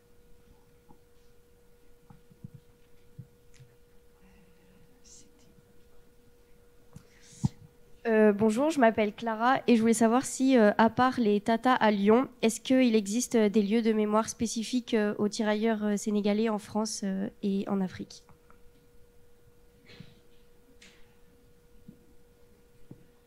Euh, là, je vais pouvoir répondre à ces questions. Donc, je vais commencer. Donc là, je suis du lycée militaire de Saint-Cyr. Et plus largement, je vais aussi faire référence à certaines pratiques dans les armées. On a un rapport à l'histoire qui est assez particulier parce qu'on a des grandes traditions euh, qui font référence à des combats anciens. Donc, on a parlé de Birakaim, de Koufra, etc. Et ces combats ont donné lieu euh, à des fêtes d'armes. C'est-à-dire que ces combats sont l'origine de certaines fêtes d'armes. Alors, on peut parler des troupes de marine, on peut parler de différentes, voilà, différentes spécialités dans les armées, et qui fait référence à l'histoire. Et c'est l'occasion euh, de faire mémoire de tous ces combats et de tous ces combattants qui ont fait ces combats. Euh, et en particulier euh, pour les tirailleurs sénégalais, je vais vous parler au lycée militaire de, des classes prépa qui préparent aux grandes écoles militaires et qui donc, on va dire, réfléchissent aux traditions derrière la figure du sous-lieutenant Paul Lapère qui était donc il, il est mort en 1925 euh, au Maroc et il commandait des tirailleurs sénégalais du 5e régiment de tirailleurs sénégalais. Et il est mort avec ses hommes. Il a fait sauter son poste euh, pendant la guerre du Rif au Maroc. Et, euh, et donc, ça, c'est quelque chose qui est très ancré au lycée militaire et on fait mémoire de cela. À cette occasion, il y a une stèle avec le sous-lieutenant Paul Lapère. Et sur ce, monument, il y a aussi des tirailleurs sénégalais qui sont mis en bas-relief. Et donc, euh, c'est comme ça, euh, c'est une des façons dans l'armée qu'on a de faire mémoire de tous ceux qui ont combattu dans les rangs de l'armée française, qu'ils soient de nationalité française ou, euh, bah, comme les tirailleurs sénégalais, des soldats qui provenaient d'Afrique, que ce soit subsaharienne ou, ou alors l'Afrique équatoriale. Sur, sur les programmes scolaires, alors en France, bah, on, est, là. hein, donc euh, pour la Première Guerre mondiale, c'est quelque chose qui peut tout, tout à fait être abordé. Je vais dire quelque chose qui va faire plaisir à vos profs, ce sont les PPO. Donc pour l'instant, euh, ça ne fait pas partie des points de passage et d'ouverture obligatoires. Mais si on veut aborder la question des tirailleurs, on peut le faire, si vous voulez, soit dans le cadre de la Première Guerre mondiale, soit à travers l'image pour la colonisation. Pour les pays africains, ça dépend quel pays. Et là, on arrive sur une question très complexe. Quelle image on a des tirailleurs sénégalais dans ces pays-là? Il faut vous dire que dans certains pays, ils ont été vus comme des traîtres, puisqu'au moment où on est en train de gagner l'indépendance, les tirailleurs sénégalais combattent en Indochine, en Algérie. Ils ont été utilisés, tout à l'heure, ça a été dit, pour Sétif, pour Madagascar. Donc c'est une, euh, une mémoire qui pose difficulté, mais de moins en moins en France, mais qui pose aussi difficulté dans les pays dont ils étaient originaires. Et ici, tous ne vont pas avoir euh, le même rapport. Tout à l'heure, on parlait de la journée du tirailleur. C'est pas forcément quelque chose qui a fonctionné. Donc, euh, ça dépend encore une fois dans, de quel pays on parle, de son rapport à cette histoire, pour pouvoir l'enseigner. Je sais pas si tu en as plus, toi, sur les programmes. Pas sur les programmes, mais dans certains pays africains, comme chez nous, vous avez aussi des lycées militaires, des Britanniques. Et notamment, ces, écoles militaires africaines reçoivent des jeunes comme vous, hein, euh, qui sont lycéens, qui sont dans votre classe d'âge. Et ces écoles, souvent, elles portent le nom, parfois, d'anciens tirailleurs, d'anciens officiers euh, français d'origine africaine. Je pense au, capitaine euh, Nchorere, euh, qui est un, soldat euh, d'origine gabonaise qui est exécuté par les Allemands en 1940. Et il a commandé le, le de, Saint-Louis, donc qui porte son nom aujourd'hui. Mais si vous allez à Brazzaville aussi, le Britannique militaire, vous rentrez dans la cour, vous avez des bâtiments de part et d'autre. Il y a un bâtiment, il s'appelle Birakem, et l'autre bâtiment, euh, il porte le nom encore d'une bataille où ont été engagés les, les soldats africains. Donc vous voyez, c'est c'est pas uniforme dans le dans l'hommage qu'on peut le- leur rendre, mais on a toujours des, des établissements scolaires africains qui rendent hommage à ces à ces soldats.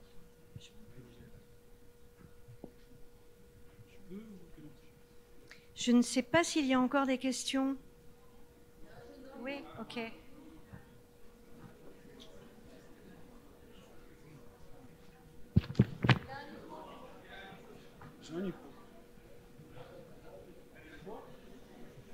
Euh, bonjour, je m'appelle Mehdi. Comment procédez-vous à l'authentification et à la vérification des sources, en particulier sur les tirailleurs Beaucoup manifient leur récit, par volonté ou par contrainte. Comment gérez-vous cela lors du travail historique? Merci. Waouh, quelle question Tu es prêt pour devenir historien? Bah, on procède avec les méthodes de l'historien. euh, alors, on, dit souvent qu'il manque la parole des Africains, c'est vrai, même si certains historiens ont pu travailler sur des témoignages. Je pense à Daniel Domer-Cloarec pour la Côte d'Ivoire, à Marc Michel pour le Sénégal. Euh, Julien Fargetas avait écrit un livre également donc, sur, les, derniers tirailleurs, donc on le laissera euh, compléter. Donc on procède avec la méthode de l'historien, mais peu importe le sujet qu'on prend. Alors, évidemment, tout le monde ne travaille pas sur De Gaulle, mais il faut vous dire que l'histoire, c'est un puzzle. Et euh, bah, bien souvent, il nous manque des pièces, peu importe le sujet. Et finalement, si votre puzzle, il fait 1000 pièces et à tour de rôle, on va avancer dessus, je pense que sur les tirailleurs, on est peut-être à l'heure actuelle à 720, 730 pièces sur les 1000. Bon, bah voilà, il, il faut gérer euh, cette frustration. Après, quand on n'a qu'une seule source, ici, il y a, hum, voilà, c'est l'œil de l'historien. Quelle fiabilité est-ce qu'on peut lui accorder?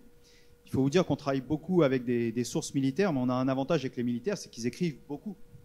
Ils nous laissent euh, beaucoup de traces. Je suis sur une question complètement différente à l'heure actuelle, mais la dernière fois, je cherchais euh, le JMO pour la mort euh, d'un homme politique camerounais qui est très important. Bon, bah, le JMO, il avait été déchiré sur place, donc on se dit, oh, c'est un complot, ça a été déchiré. Un journal de marche et d'opération, c'est-à-dire jour par jour, les militaires nous racontent ce qui a été fait dans son unité. Et euh, bon, bah, le premier JMO, il est déchiré, donc il manque, il, manque euh, les trois lignes les plus importantes. Et finalement, il y a tellement, tellement de sources militaires que le JMO, je l'ai retrouvé ailleurs. Et ces trois lignes, elles sont insignifiantes en fait. Euh, On dit juste, oui, il y a cinq hommes qui ont été tués. parmi cet homme, Ruben Oumniobé.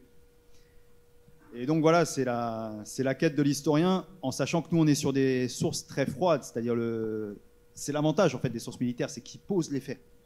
Et ensuite, on va aller chercher de la chair ailleurs, et c'est là où on a besoin euh, du témoignage, euh, notamment, qui est, qui est très important.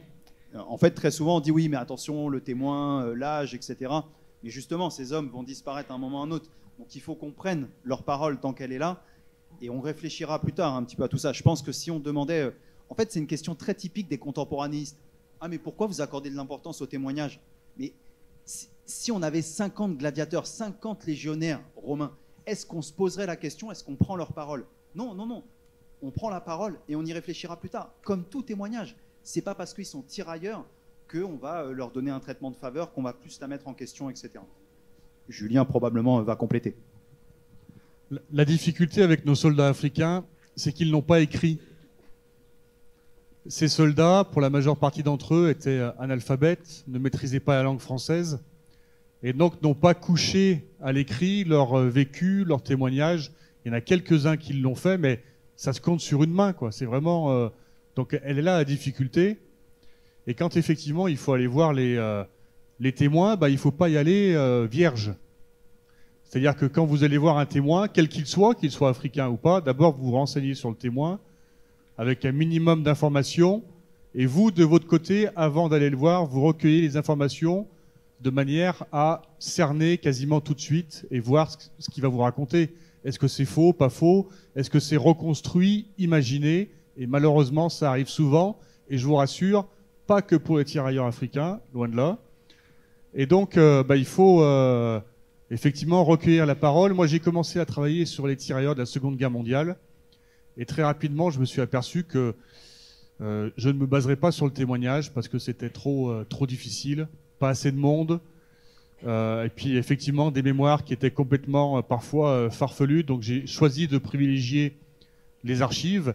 Mais après, quand j'ai travaillé sur ceux qui avaient fait l'Algérie, l'Indochine, là, par contre, j'y suis allé parce que je savais que les gens étaient plus jeunes, étaient plus instruits, comprenaient mieux ce qui s'était passé, donc c'était plus euh, compréhensible et plus utilisable.